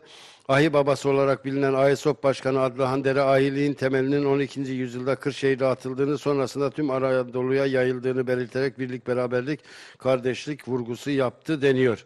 Okullarda ilk ders zilinin çaldığını yine daha önce söylemiştik. Burada bir haber var yine Sayın Valimizin bir öğrenciyle beraber o öğrencilere verdiği hediyelerle birlikte. E, Sayın Vali gerçekten e, bunu dün bir kez daha gördüm. Her tarafa yetişmek için koşabilen, koşan. E, ben dün bir tabir kullanmıştım. E, bazıları dedik ya böyle bir tabir vali için kullanılır mı? Niye kullanılmıyor ki yani? Atom karınca demiştik. Hakikaten Sayın Vali her tarafa koşabilen, giden. Antalya'nın bütün e, köylerini hemen hemen gezmeye çalışan ve dağların ardını çok iyi bilen biri. Antalya'nın hele tarihi ve kültürel açıdan, e, turizm açısından nerelere gelmesi gerektiğini geçtiğimiz günlerde yine söylemiştim. Yine söylemekte beis görmüyorum. Ali Buldu'nun yüksek tansiyon programında söylediğinde ben şaşırmıştım. Ya bu kadar kısa sürede Antalya'yı bu kadar nasıl tanıyor diye. Antalya'da yıllarca Antalyalı olduğunu iddia edip Antalya'nın şu suyuz bu suyuz diyenler dahi Antalya'da bunları ezbere konuşamaz. Bırakın önüne yazsanız veremez. Bazı Antalya milletvekilleri vardır. Antalya'da kale kapısında bırakın e, Dink yüz kapılara gidin orayı bulamaz. Neresi olduğunu bilmez. Bırakın Kepez'den Murat Paşa'ya. Ama Sayın Vali gerçekten Münir Karaloğlu bu konuda çok hızlı adımlar attı ve çok hızlı yol aldı diye düşünüyorum. Evet, soyarak pişirilenler dikkat demiş. Patatesi kaybettik rahmet. Allah'ın rahmeti canına olsun. Gerçekten güzel bir yiyecekti. Antalya toptancı halinde kilogram fiyatı açıklanan patates geçen yılın aynı dönemine göre yüzde yüz zamlı satıldı. Sebze meyve grubunda genel bir artış görülürken limonun kasa fiyatı değişmedi. Şimdi patatesi niye böyle? Patates fiyatları niye böyle? Ben e, Samsun'da çalıştığımda Tokat'ta patates ve soğan ekilir. Bir yıl soğan iyi para eder, bir yıl patates iyi para eder. Eğitimde olmadığı gibi tarım politikalarımızda da bir sistem yok. Mesela tarım politikalarımız olsa her şeyi ne kadar gerekiyorsa, ihtiyaç karşılığı ne kadarsa ona göre e, ekip, üretip e, tüketiciye dağıtmak olur. Soğanın para ettiği yıl herkes soğan eker tarlaya. Ertesi yıl patates az olur, patates para eder, soğan ekenler yine şey yapmaz, patates yükselir. O şey- sezon sonrasında patates para ettiği için herkes patates eker, bu sefer soğan yükselir. Böyle bir sistemimiz var. Yani sistemsizlik sistem olmuş bizde. Bu da olunca da ne oluyor? Hiçbir zaman rahat bir e, politika uygulayamıyorsunuz ve rahat da olmuyor. Arkadaşlar bu arada sanıyorum geldi mi ara vaktimiz? E o zaman yani ben hatırlattım değil mi size? Ne güzel. Evet değerli izleyiciler, şimdi ne yapıyoruz? Elmalı'dan getirdiğimiz çanla. Kısa bir ara veriyoruz. Aradan sonra yine birlikte oluyoruz. Niye? Çünkü sizi dünya ile tanıtabilecek ve dünyayı size tanıtabilecek, Antalya'yı da dünyaya entegre edebilecek eden ve Antalya'nın kendi televizyonu olan tek yerel televizyon Kanal V. Şimdi ne yapıyoruz? Gidiyoruz, biraz sonra buluşuyoruz.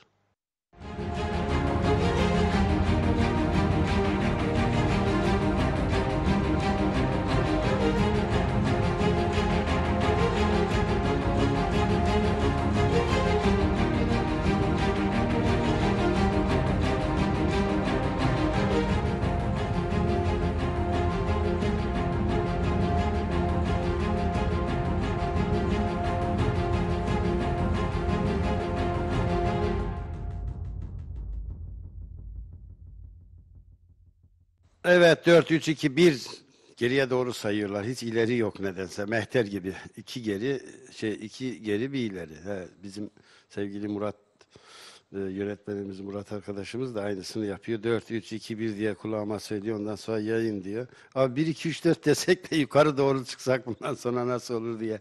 Ben de buradan bir e, Tamam o da öyle yapar dedi zaten. Evet Hilal gazetesindeyiz şimdi. Hilal gazetesinin manşeti eğitimin kör düğüm olduğuyla ilgili. Şimdi bugünlerde artık bir hafta 15 gün falan hep eğitim üzerinden gideriz. Çünkü genelde öyle gidiyor. Mesela şu anda hiç eee servisleri konuşan yok. Servislerde ne oldu? Ama bundan bir hafta, 10 gün, 15 gün önce servisleri konuşuyorduk. Niye? Çünkü İzmir'de bir çocuğumuz servisin içerisinde unutulmuştu. Şu anda hiç yurtları konuşan yok. Niye?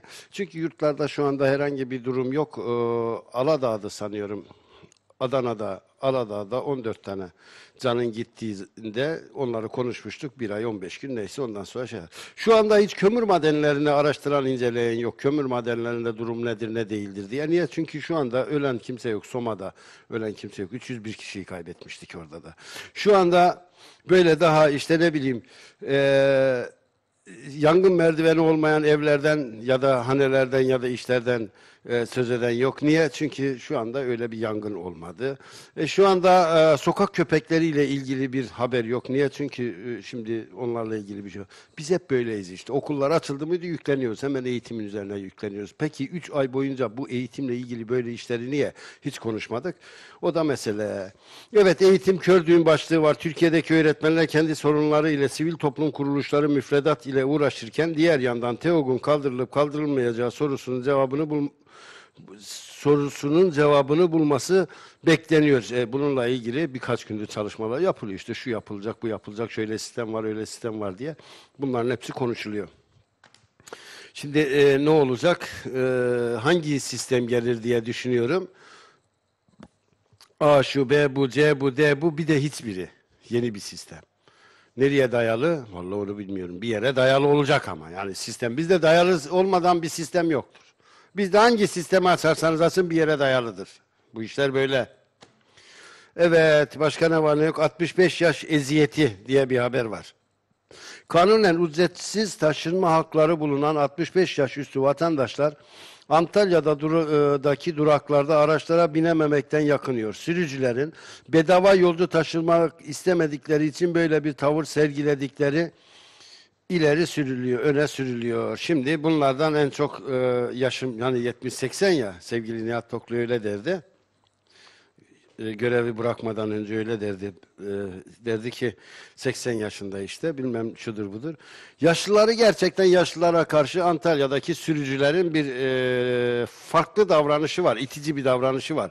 Ama yaşlıların da sürücülere karşı bir davranışı var. Hepsinin değil. Hepsini şey yapmıyoruz. Ama bazı yaşlılar gerçekten o yaşın ağırlığını bilmiyor. Ama şoförler de gerçekten durakta yaşlı varsa genç de olsa onun kurunun yanında yaşta yanar deyip hiçbirini almadan gidiyor. Şimdi bir de şunu istedim sizden geçen gün. Ee, dedim ki ya şu kartlarınızı mesela otobüs kartlarınızı benim otobüs kartım şu.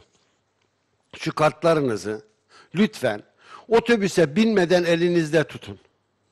Şimdi arkada sıra insanlar var, siz önde. Çantanızı yarım saat karıştırıyorsunuz. Niye? E kartı çıkartacaksınız ya. Kartı çıkartacaksınız.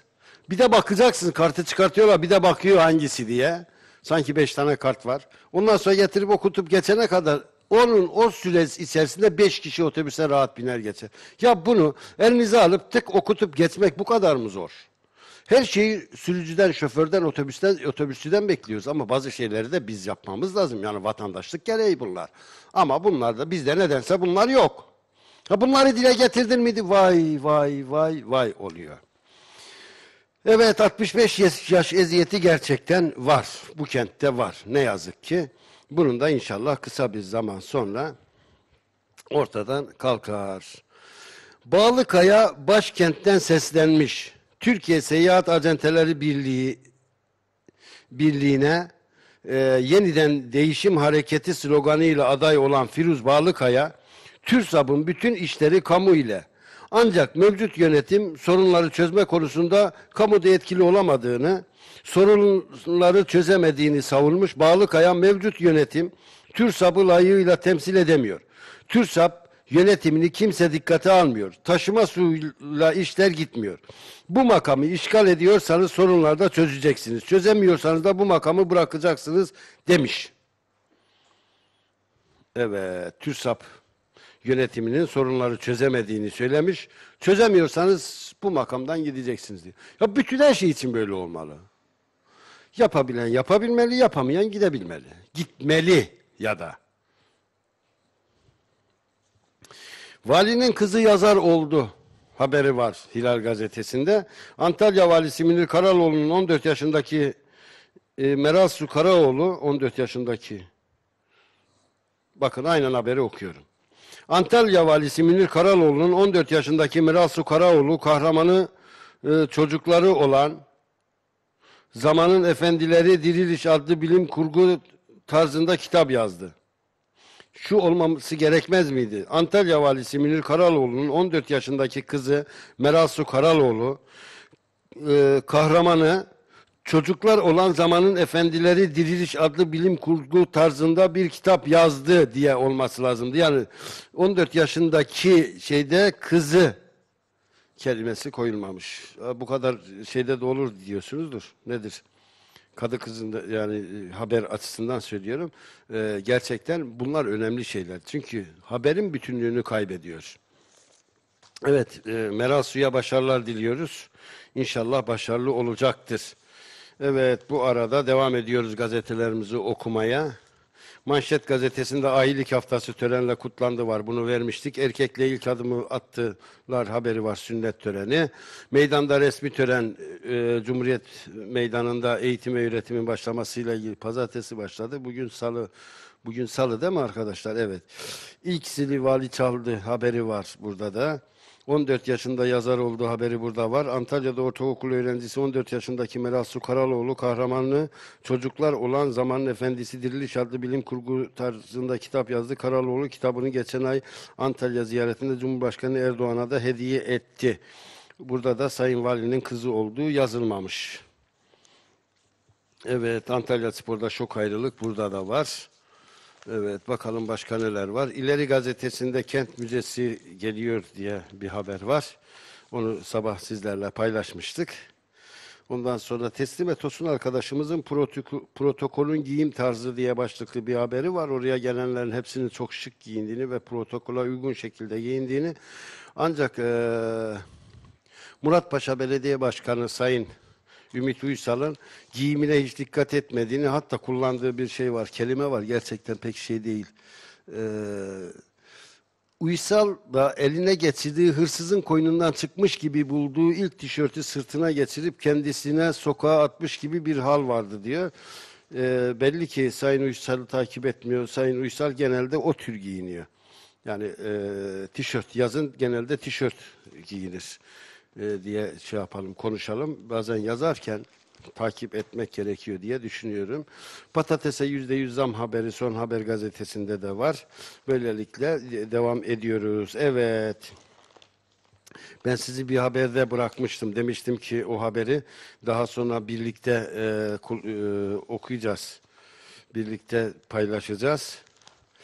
Bu e,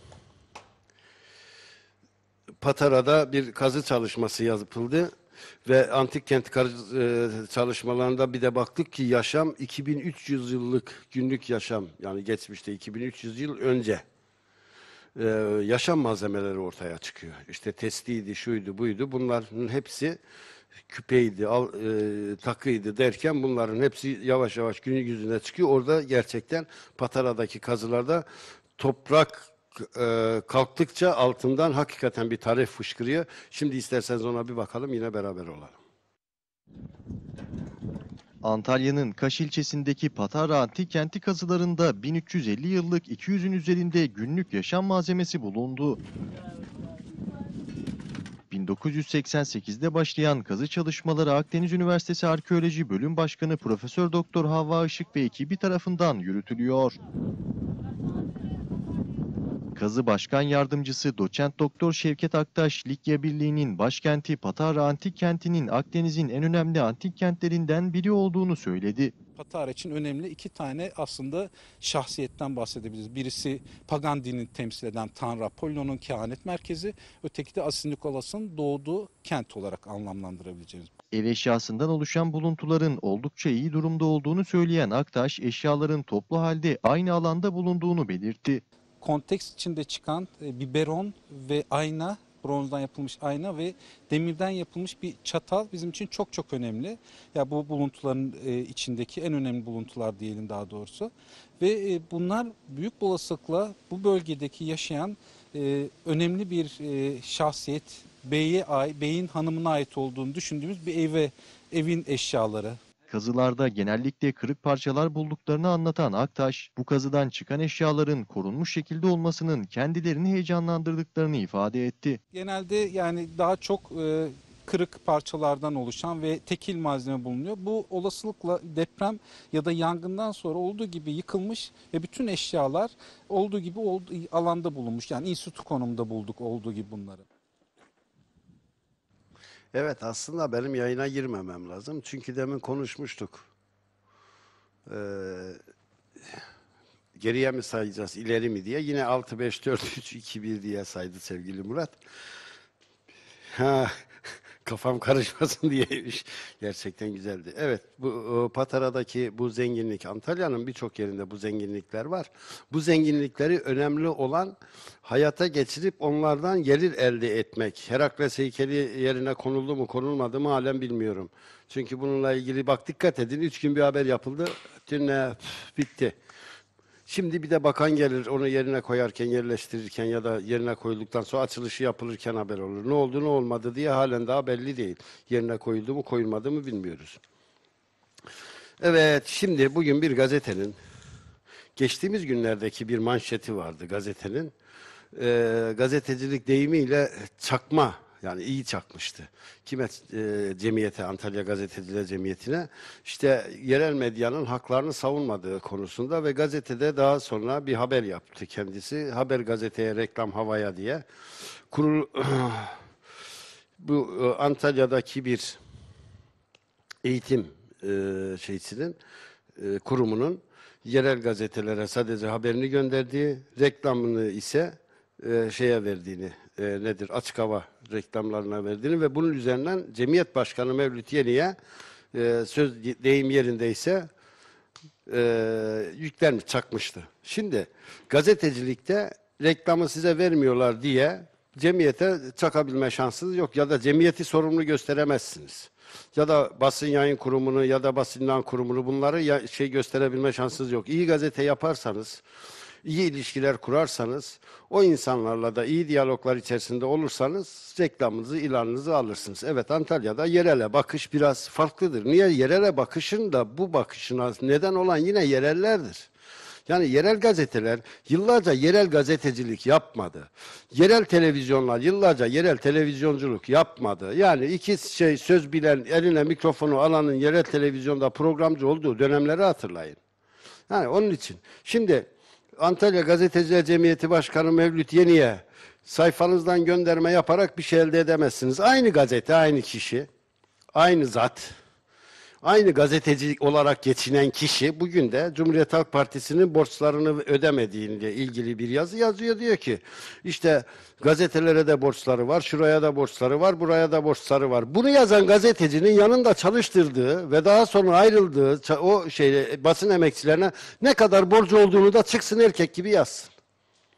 Desin ki arkadaş biz böyle böyle tamam bak öbür tarafa da yazıyoruz. Cemiyet başkanına vuruyoruz. Niye gazetecilerin hakkını savunmuyorsun diye cemiyet başkanı tek tek gidip bütün gazetelere ilan toplayacak sanki ya da gazetecilerin araçlarının başında nöbet tutacak. Polis ceza yazmasın uygunsuz yerde park edildiği için. Oradan takılmış bir kere. Ama bugün de zaman zaman da onu dile getiriyor. Cumhuriyet Halk Partisi medya kuruluşlarına da borcunu ödemiyor. Sanıyorum kendilerinin şişik bir faturası var e, konuyla ilgili. Geçmiş tarihte nasıl olsa muhatabı yok. İstediğini yaz, ver cinsinden bir şey. Peki kendisi çalıştırıp daha sonra işten çıkarttığı emekçilerin ücretlerinin hepsini ödemiş mi? Alın teriyle çalışan insanların e, paralarını ödemiş mi diye bir sorgulasın. Bu kentte herkes herkesi tanıyor. Onu da söylemek lazım. Sayın Mevlüt Yeni'ye bu tür kişilere kulağını kapatmasını öneririm. Hiç kale almaması lazım. Çünkü Mevlüt Yeni e, Antalya Gazeteciler Cemiyeti Başkanıdır. Bir gazetecinin sözcüsü değil. Bir gazetenin sözcüsü hiç değildir. O hepimizin sözcüsüdür. Bütün yayın kuruluşlarının sözcüsüdür. Kişisel tırnak içerisinde kişisel olaylara girdiği an kaybeder. Evet bunu da buradan hatırlatmakta fayda görüyorum. Rezalet. Rezalet dediğim o değildi. Yeni Yüzyıl Gazetesi'nin manşeti rezalet. Antalya Göçerler Mahallesi olunan bir bölgede aynı haber postada da vardı. Ee, tebrik ediyorum Yeni Yüzyıl Gazetesi'ni. Eğitim ve öğretimin başladığı günde böyle bir haberi bu şekilde e, gazetede gazetenin manşetine çekmek gerçekten doğru. Çünkü bugün kullandığımız bu dil, kullandığımız o harfler, kullandığımız o e, rakamlar, bugün Türkiye Cumhuriyeti'nde eğer sokakta halen daha gezebiliyorsak özgür bir şekilde ne kadar özgürse ve bugün halen daha medeni insanlar, medeni e, mahsur medeniyetler seviyesinde isek bazı bölümlerde hakikaten Atatürk'e çok şey borçluyuz. Atatürk'ün büstünü buraya atabilirsiniz. Baştan da söyledik fakat fikirlerini değiştirem yani fikirlerini taşımadıktan sonra bu büstün bence o anıtların hiçbir anlamı yok. Önemli olan Atatürk'ün ilke ve inkılaplarından yola çıkarak bir şeyler yapabilmek. Bunu boşu boşuna şuraya bir rozet takarak ben Atatürkçüyüm demek de Atatürk'e saygı değildir. Aksine bunların birçoğunun ben bilirim Antalya'da böyle burada sallanan Atatürk rozeti yakasına taşıyan belediye başkanını da bilirim. Arkasından e, gittikten sonra söylenenleri de ben görevindeyken söylüyordum. Millet gittikten sonra söylüyor. İşte aramızdaki fark da bu. Ben herkesi görevdeyken eleştiririm. Gittikten sonra çok eleştirmem.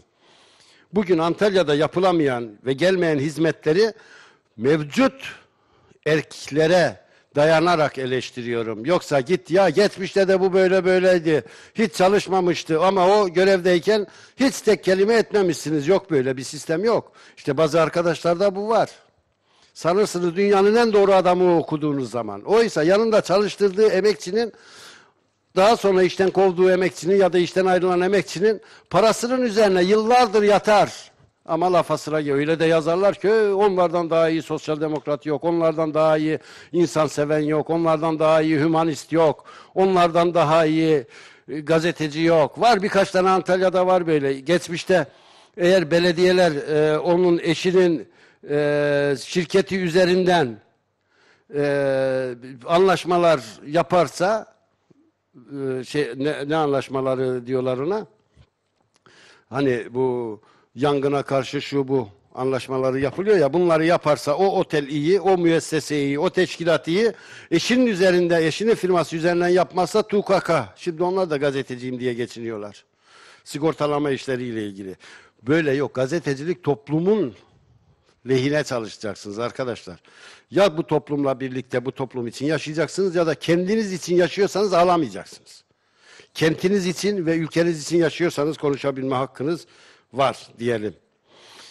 Evet, Karataş teşvik devam etmeli demiş. İnşaat sektörüne sağlanan KDV indirimi, konut kredisi faizlerinin yüzde bire çekilmesi hariç indirim gibi destekler 30 Eylül'de sona erecek. İnşaat Müteahhitleri Derneği Başkanı Deniz Karataş, sektörde yaşanan olumsuz etkilerin azalmasını ve sektörün yeniden canlanmasını sağlayan teşviklerin devam etmesi gerektiğini söyledi diye bir haber burada var. Karacan yeniden başkan haberi de var burada.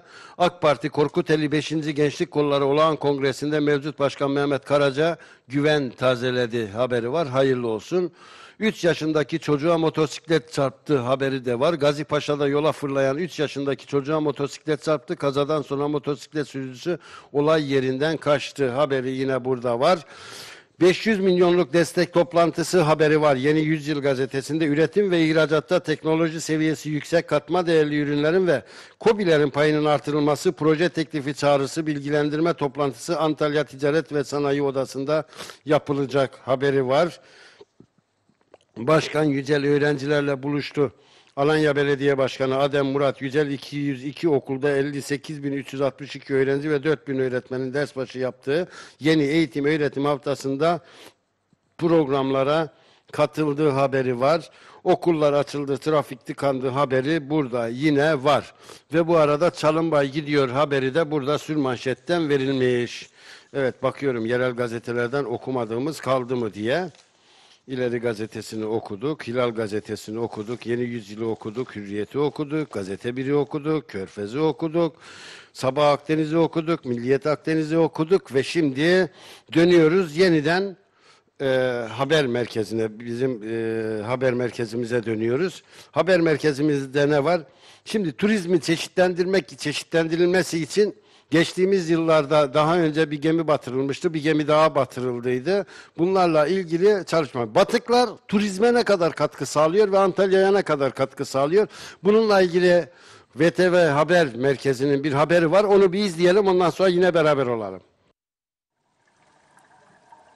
Mersin kıyılarında yapılan sualtı araştırmalarında 100 kilometrelik şeritte 1000 ile 2700 yaş arasında 18 gemi batığı bulundu. Batıklarımız milattan önce 7. yüzyıldan milattan sonra 11. yüzyıla kadar e, tarihlendirdiğimiz Batıkların 16'sının amfora birinin tabak yüklü olduğu ortaya çıkarken bir geminin ise yükü tanımlanamadı. bu e, amforalar uluslararası ticareti gösteriyor. Amforaların yaklaşık yarısı yani amfora yüklü gemi batıklarının yaklaşık yarısı bizim Kilikya olarak tanımladığımız Antalya'nın doğusuyla Mersin kıyı şeridindeki amfora fabrikalarında üretilmiş, amfora atölyelerinde üretilmiş Antalya Kemer'de bulunan Selçuk Üniversitesi Sualtı Araştırma ve Uygulama Merkezi Müdürü Yardımcı Doçent Doktor Hakan Üniz, üniversiteye ait Selçuk bir araştırma ve uygulama gemisiyle Mersin kıyılarında verimli bir çalışma yürütüyor. Mersin'in e, Aydıncık, Günler ve Silifke ilçesi kıyılarında yaklaşık 100 kilometrelik e, kıyı şeridinde 18 adet e, antik geminin e, tespit edilmiş olması oldu. Yani 18 batık bu çalışmalar sırasında ortaya çıkartıldı. Yaklaşık 30 kişilik sualtı arkeoloğundan oluşan uluslararası ekipte Mersin kıyılarında verimli bir çalışma yürütülüyor. Evet yine 5-4-3-2-1 ve yine sizlerle birlikteyiz arkadaşlar.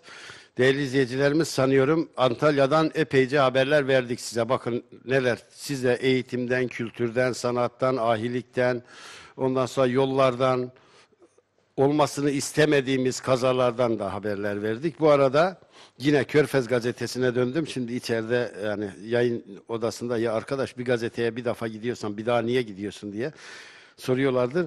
Ee, çay içmeye de gidiyorum ara sıra ama bu sefer haber için gidiyoruz. Alakır'da iki HES'in lisansı iptal edildiği haberi var. Bu bir e, Yusuf Yavuz haberidir. Yusuf Yavuz gerçekten Antalya'da bu e, şeyler ilgili doğayla ilgili en fazla haber yapabilen ve sesi en çok duyuran arkadaşlarımızdan bir, biridir. Kumluca ilçesinde bulunan Alakır Vadisi'nde yaklaşık 10 yıldır süren HES kıskacında yeni e, gelişme, dördü tamamlanarak üretime geçen toplam 8 HES projesinin bulunduğu Alakır'da 2 HES'in üretim lisansı iptal edildi. Enerji Piyasa Denetleme Kurulu EPDK olması lazımdı. Adom e, Madencilik AŞ firmasına ait Alakır 1 ve Alakır 2S projelerinin lisansını iptal etti. Ayrıca ülke genelinde toplam 40 enerji üretim lisansını da iptal eden EPDK kararı 15 Eylül'de resmi gazetede yayımlanarak yürüye girdi. Çünkü burada enerji düşük, tahribat çok büyük. Yani doğayı tahrip ettiğiniz e, oranda karşılığında enerji alamıyorsunuz. Bu HES'lere karşılığımız bizim bundan. Ve HES'ler aslında bir şey üretsin falan diye değil. HES'ler birilerine eee, şey eee, ara sıra böyle şey oluyor. Birilerinin cepleri dolsun diye yaptırılıyor. Çünkü suya sahip olmak, geleceğe sahip olmak demektir. Bakın önümüzdeki yıllar 2050'li yıllarda Türkiye su fakiri ülkelerden bir tanesidir. Siz bakmayın ırmakların aktığına, tatlı suların bilmem ne olduğuna, şuna buna. İşte daha şurada Kırkgöz'de artık kaynaklar kuruyor. Niye? Çünkü Kırkgöz Belediyesi orada yeterli temizlik çalışmalarını ya da yeterli farklı çalışmaları yapamadığı için. Yapmıyorlardı. Artık nedense yapmıyorlarsa bilmiyorum. Ben Manisa'ya bağlı diyorum kızıyorsunuz. Bazıları kızıyor Manisa'ya bağlı dediğimde. Orası Antalya'ya bağlı olsa o belediye gerçekten Antalya'nın geleceği için orada değişik çalışmalar ve düzenlemeler yapar. Kırkgöz'ü geçtiğimiz günlerde e, Yeni Yüzyıl gazetesi açıkça masaya yatırmıştı ve Kırkgöz'ün ne şekilde bittiğinin fotoğrafını çizmişti. Demişti ki proje bu, gerçek bu. Yani hayalle gerçek arasında dünya kadar fark vardı diyelim. Ve şimdi ne yapacağız? Burdur'a gideceğiz. Burdur'da Burdur'daki göle hangi göldü Burdur'daki Salda Gölü'ne dikkati çekmek için orada bazı etkinlikler yapılıyor. Maldivlere de benzetiliyor burası. Maldivlere benzerliğiyle dikkati çeken e, şey. Bu yıl bayağı efendim Ha Burdur Gölü'ymüş özür diliyorum Burdur Gölü'nde. E, buraya dikkati çekmek için e, Burdur Gölü'ne dikkati çekmek için çeşitli deniz oyunları, su e, oyunları yapıldı. Onunla ilgili faaliyetler vardı. Şimdi oraya bir bakalım ondan sonra yine birlikte olacağız. Burdur Belediyesi'nin düzenlediği Göl Festivali kapsamında Türkiye Su Jeti ve Flyboard Şampiyonası'nın ikinci ayağı Burdur Gölü'nde gerçekleştirildi. Şampiyonada Türkiye, Rusya, Kuzey Kıbrıs Türk Cumhuriyeti, Finlandiya, Güney Kore, Hollanda, Kolombiya, Kazakistan ve Tayland'dan 43 sporcu mücadele etti.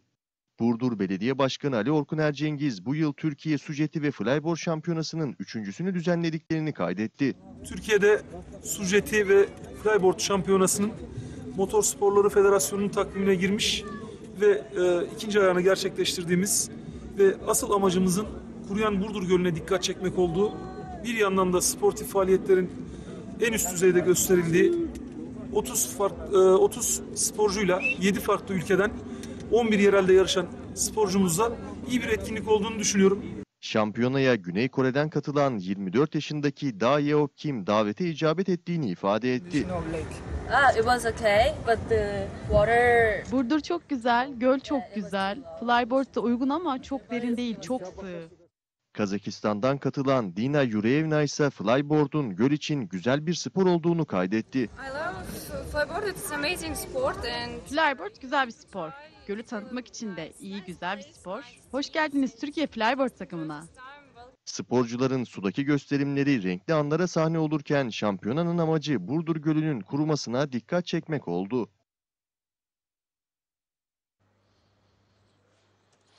Evet yeniden sizlerle birlikteyiz. Ben de bu arada e, bakıyordum ne var ne yok, mesajlarda ne var ne yok. Hamdi Çetin, Ali Bey diyor ne yapıyorsun diyor. Ne yapayım işte görüyorsunuz ortada işte gazeteler var, ben varım, e, kameraman arkadaşım var, içeride yöneticimen arkadaşlarım var. E, bir de kameralar, o, ben ve izleyiciler var. Bunlarla birlikte hep beraber. Antalya'dan dünyaya açılan tek pencere olan Kanal V'den sabahınızı paylaşıyorum. En güzel vakitlerinizi, en güzel vakitlerinizde bana yer ayırdığınız için hepinize de bu arada teşekkürü bir borç biliyorum diyelim. Ve ondan sonra ne var ne yok diye şöyle bir biraz daha kendimizi eee sorgulayalım aslında. Bugün e, sevgili Mehmet Ali İhsan Tören'in de doğum günüymüş. Şimdiden onun doğum gününü de buradan kutlayayım. Değerli bir arkadaşımız, değerli bir dostumuz, değerli bir yöneticimiz. E, Allah gönlünce her şeyi versin ve nice nice güzel yıllar, güzel günler dileyelim. O kazansın, biz kazanalım, hep birlikte kazanalım, Antalya kazansın. Yüzünden gülücükler eksik olmasın hiç kimsenin. Evet gerçekten Antalya dünyanın en güzel şehirlerinden biri diyoruz. Bunu her zaman oturup konuşuyoruz ve diyoruz ki Antalya kendisini her zaman yenilemesi gereken bir kent. Şimdi şurada biraz Antalya cimnastiği yapalım isteyelim. Bu arada sizin de e, görüşlerinize e, yer vereceğim. E, ne demişsiniz, ne demiş, dememişsiniz son yorumlara da bir bakacağız. Mehmet Tosun mesela demiş ki sabahınız huzurlu ve aydın olsun, günaydınlarınız bol olsun. Hepimizin günaydını bol olsun. Gün inşallah hepimize aydın olsun. Gelecek günlerimiz aydınlık olsun diyelim. Fatma Kaya günaydın diyor. Bir şey sahiplenmek isterseniz bir çocuğun gülüşünü sahiplenin demiş. Gerçekten bir çocuğun gülüşünü sahiplenmek kadar güzel bir şey yok. Sebahattin Dülgertah Samsunlardan günaydın demiş. Mustafa Kök yine günaydın demiş. İstanbul'da herhalde kendisi halen. Bu da İstanbul usulü demiş ve aynadan bir fotoğraf göndermiş bize. Kendisine teşekkür ediyoruz. Evet, e, Antalya'da yaşamayı söyledik. Antalya'da yaşamak gerçekten güzel ama bu kente ne kadar sahip çıktığınıza bağlı orada. Kentin sahibi misiniz, sakini misiniz onu bilmiyorum. Dün e, Balbey Mahallesi muhtarı ile birlikteydik. Onunla biraz bu ahilik töreninden biraz konuştuk ve Balbey Mahallesi'nde durumun nasıl olduğunu, ne ettiğini Abdullah Uyaroğlu'yla birlikte. Balbey'in de önümüzdeki günlerde eski kimliğine kazanacağına inandığını söyledi ve orada bir şey söyledi. Dedi ki 300 tane 400 tane dedi şey var e, arsa sahibi var fakat dedi geçmişten olduğu için onlar şimdi dedi onların çocukları torunları şu su bu su dedi varisler dedi bir yani o 300 kişilik şey 2000 kişiyi buluyormuş. Onların hepsinin toplanması, edilmesi, onlardan olur alınması falan o epey uzun sürecek dedi. Kale ile ilgili çalışmaların son derece e, yapıldığını, son e, reddeye geldiğini de söyleyelim. Çünkü orada Sayın e, Vali, Büyükşehir Belediye Başkanı ve Muratpaşa Belediye Başkanı, Tarihi Anıtlar Yüksek Kurulu falan e, bunların hepsinin ortak çalışmaları gerekiyor. Dün akşam bu konuyla ilgili de Muratpaşa Belediye Başkanı Ümit Uysal Ali Buldu'nun programındaydı. Yüksek tansiyon programındaydı. Orada cevaplarının bir bölümünü verdi burayla ilgili. Ee, başka neler vardı? Şöyle bir toparlayalım. Mesela okullar açıldı, sahiller boşaldı. Niye? Artık e, çocuklar ders zamanı geldi. Ve şunu uyarayım bir kez daha söyleyeyim. Hep birlikte paylaşalım aslında bunları. Çocuklarınızla lütfen ilgilenin. Artık bilgisayarları bir kenara koyun. Bilgisayardaki o oyunları özellikle o bilgisayar oyununu oynayan oyunları ölüme götüren bilgisayarları özellikle zararlı olanları bir kenara koyun. Emniyet Müdürlüğü yetkililerinden bir kez daha rica ediyorum. Ne olursunuz okul etrafındaki kafeleri, barları ve internet kafeleri özellikle eee, biraz daha denetimlerini sıklaştırsınlar. Oradaki büfelerde de denetimler sıklaştırılsın lütfen. Çünkü bu çocuklar bizim geleceğimiz. Öğretmenlerden ricamız çocuklara çok fazla ders verip o çocukların psikolojisini daha ilk günden bozmayın. Ve öğrencilerden ricamız aileleriniz sizi okutabilmek için ne şekilde ne şartlarda çalıştığını bilin ve siz de ona göre davranın. Yani bunları hep birlikte konuştuk, konuşalım. Televizyondan efendim 3 dakikamız kalmış. Bunları televizyondan dile getirmek gerçekten çok hoş. Ne güzel ki böyle bir imkanın, böyle bir olanağın var. Evet, her şeyin bir başlangıcı, bir de bitişi var. Bu arada bakayım. Evet, Hamdi Çetin diyor ki çok havalısın diyor. Benden diyor bahset. Hamdi Çetin'in neyinden bahsedeyim bilmiyorum ki kendisi turizmci. Habire şu şehirde bu şehirde gezer. Kendisi gezer ama o şehirlerden bu şehirlerden bir tane hediyesini görmedik. Madem ki tarif ettin böyle tarif edeyim. Benim ikiz yeğenlerimin, kız ikiz yeğenlerimin babası kendisi. Ona da buradan selamlarımızı iletiyoruz. İkiz yeğenlerimi de özlediğimi söyleyeyim buradan. Evet değerli izleyiciler bu da bizim şansımız olsun. Yapımda ve yayında emeği geçen bütün arkadaşlarım adına dünyaya sizi entegre eden kanal ve televizyonun bütün çalışanlarına ve bizi her sabah bıkmadan, usanmadan izleyen ve bizimle birlikte o anı, o hayatı paylaşan güzel insanlar. Sizin hepinize teşekkür ediyorum. Bir kez daha e, hepinize teşekkür ediyorum. Son bir mesaj var mı ona da bakayım çünkü daha sonra mesaj yazılıyor, unutuyorum. Ondan sonra problem yaşıyorum. Turan Altınkaya bu arada iyi e, günler dilemiş. Evet değerli izleyiciler, yapımda ve yayında emeği geçen bütün arkadaşlarım adına özellikle siz izleyicilerimize çok çok teşekkürler ediyoruz. Ve Kanal V'den ayrılmayın diyoruz. Neden? Çünkü Kanal V Antalya'yı dünya ile entegresini sağlayan tek televizyon kuruluşu ve kentinizin televizyonu. Kendinizin değil, kentinizin televizyonu. Bu çok önemli. Ve şimdi sizleri insan dostları, hani köpekler, hayvanlar, evcil hayvanlar, evcil olmayan hayvanlar. Ama bir de evcil hayvanlar vardır. Bunlar kent içerisindeki taşınması biraz problemli oluyor. Zaman zaman otobüste, zaman zaman tramvayda bakıyorsunuz onları getiren ya da onu taşıyana sert gözlerden de bakıldığı oluyor. Şimdi böyle bir olay yine burada yapılmış ve arkadaşlarımız da buna söze gerek yok bölümünü almışlar. Şimdi ben o sizi söze gerek yok bölümüyle baş başa bırakıp Elmalı'dan getirdiğimiz özellikle söylüyorum bunu. Hangi ilçeden ne gelirse buradan göstereceğim. Elmalı'dan bu geldi ve Elmalı'dan gelen çanla programımızı açmıştık. Sizi şimdi o görüntülerle baş başa bırakıp Elmalı'dan gelen çanla hoşça kalın demiyorum. Düşünerek kalın diyorum.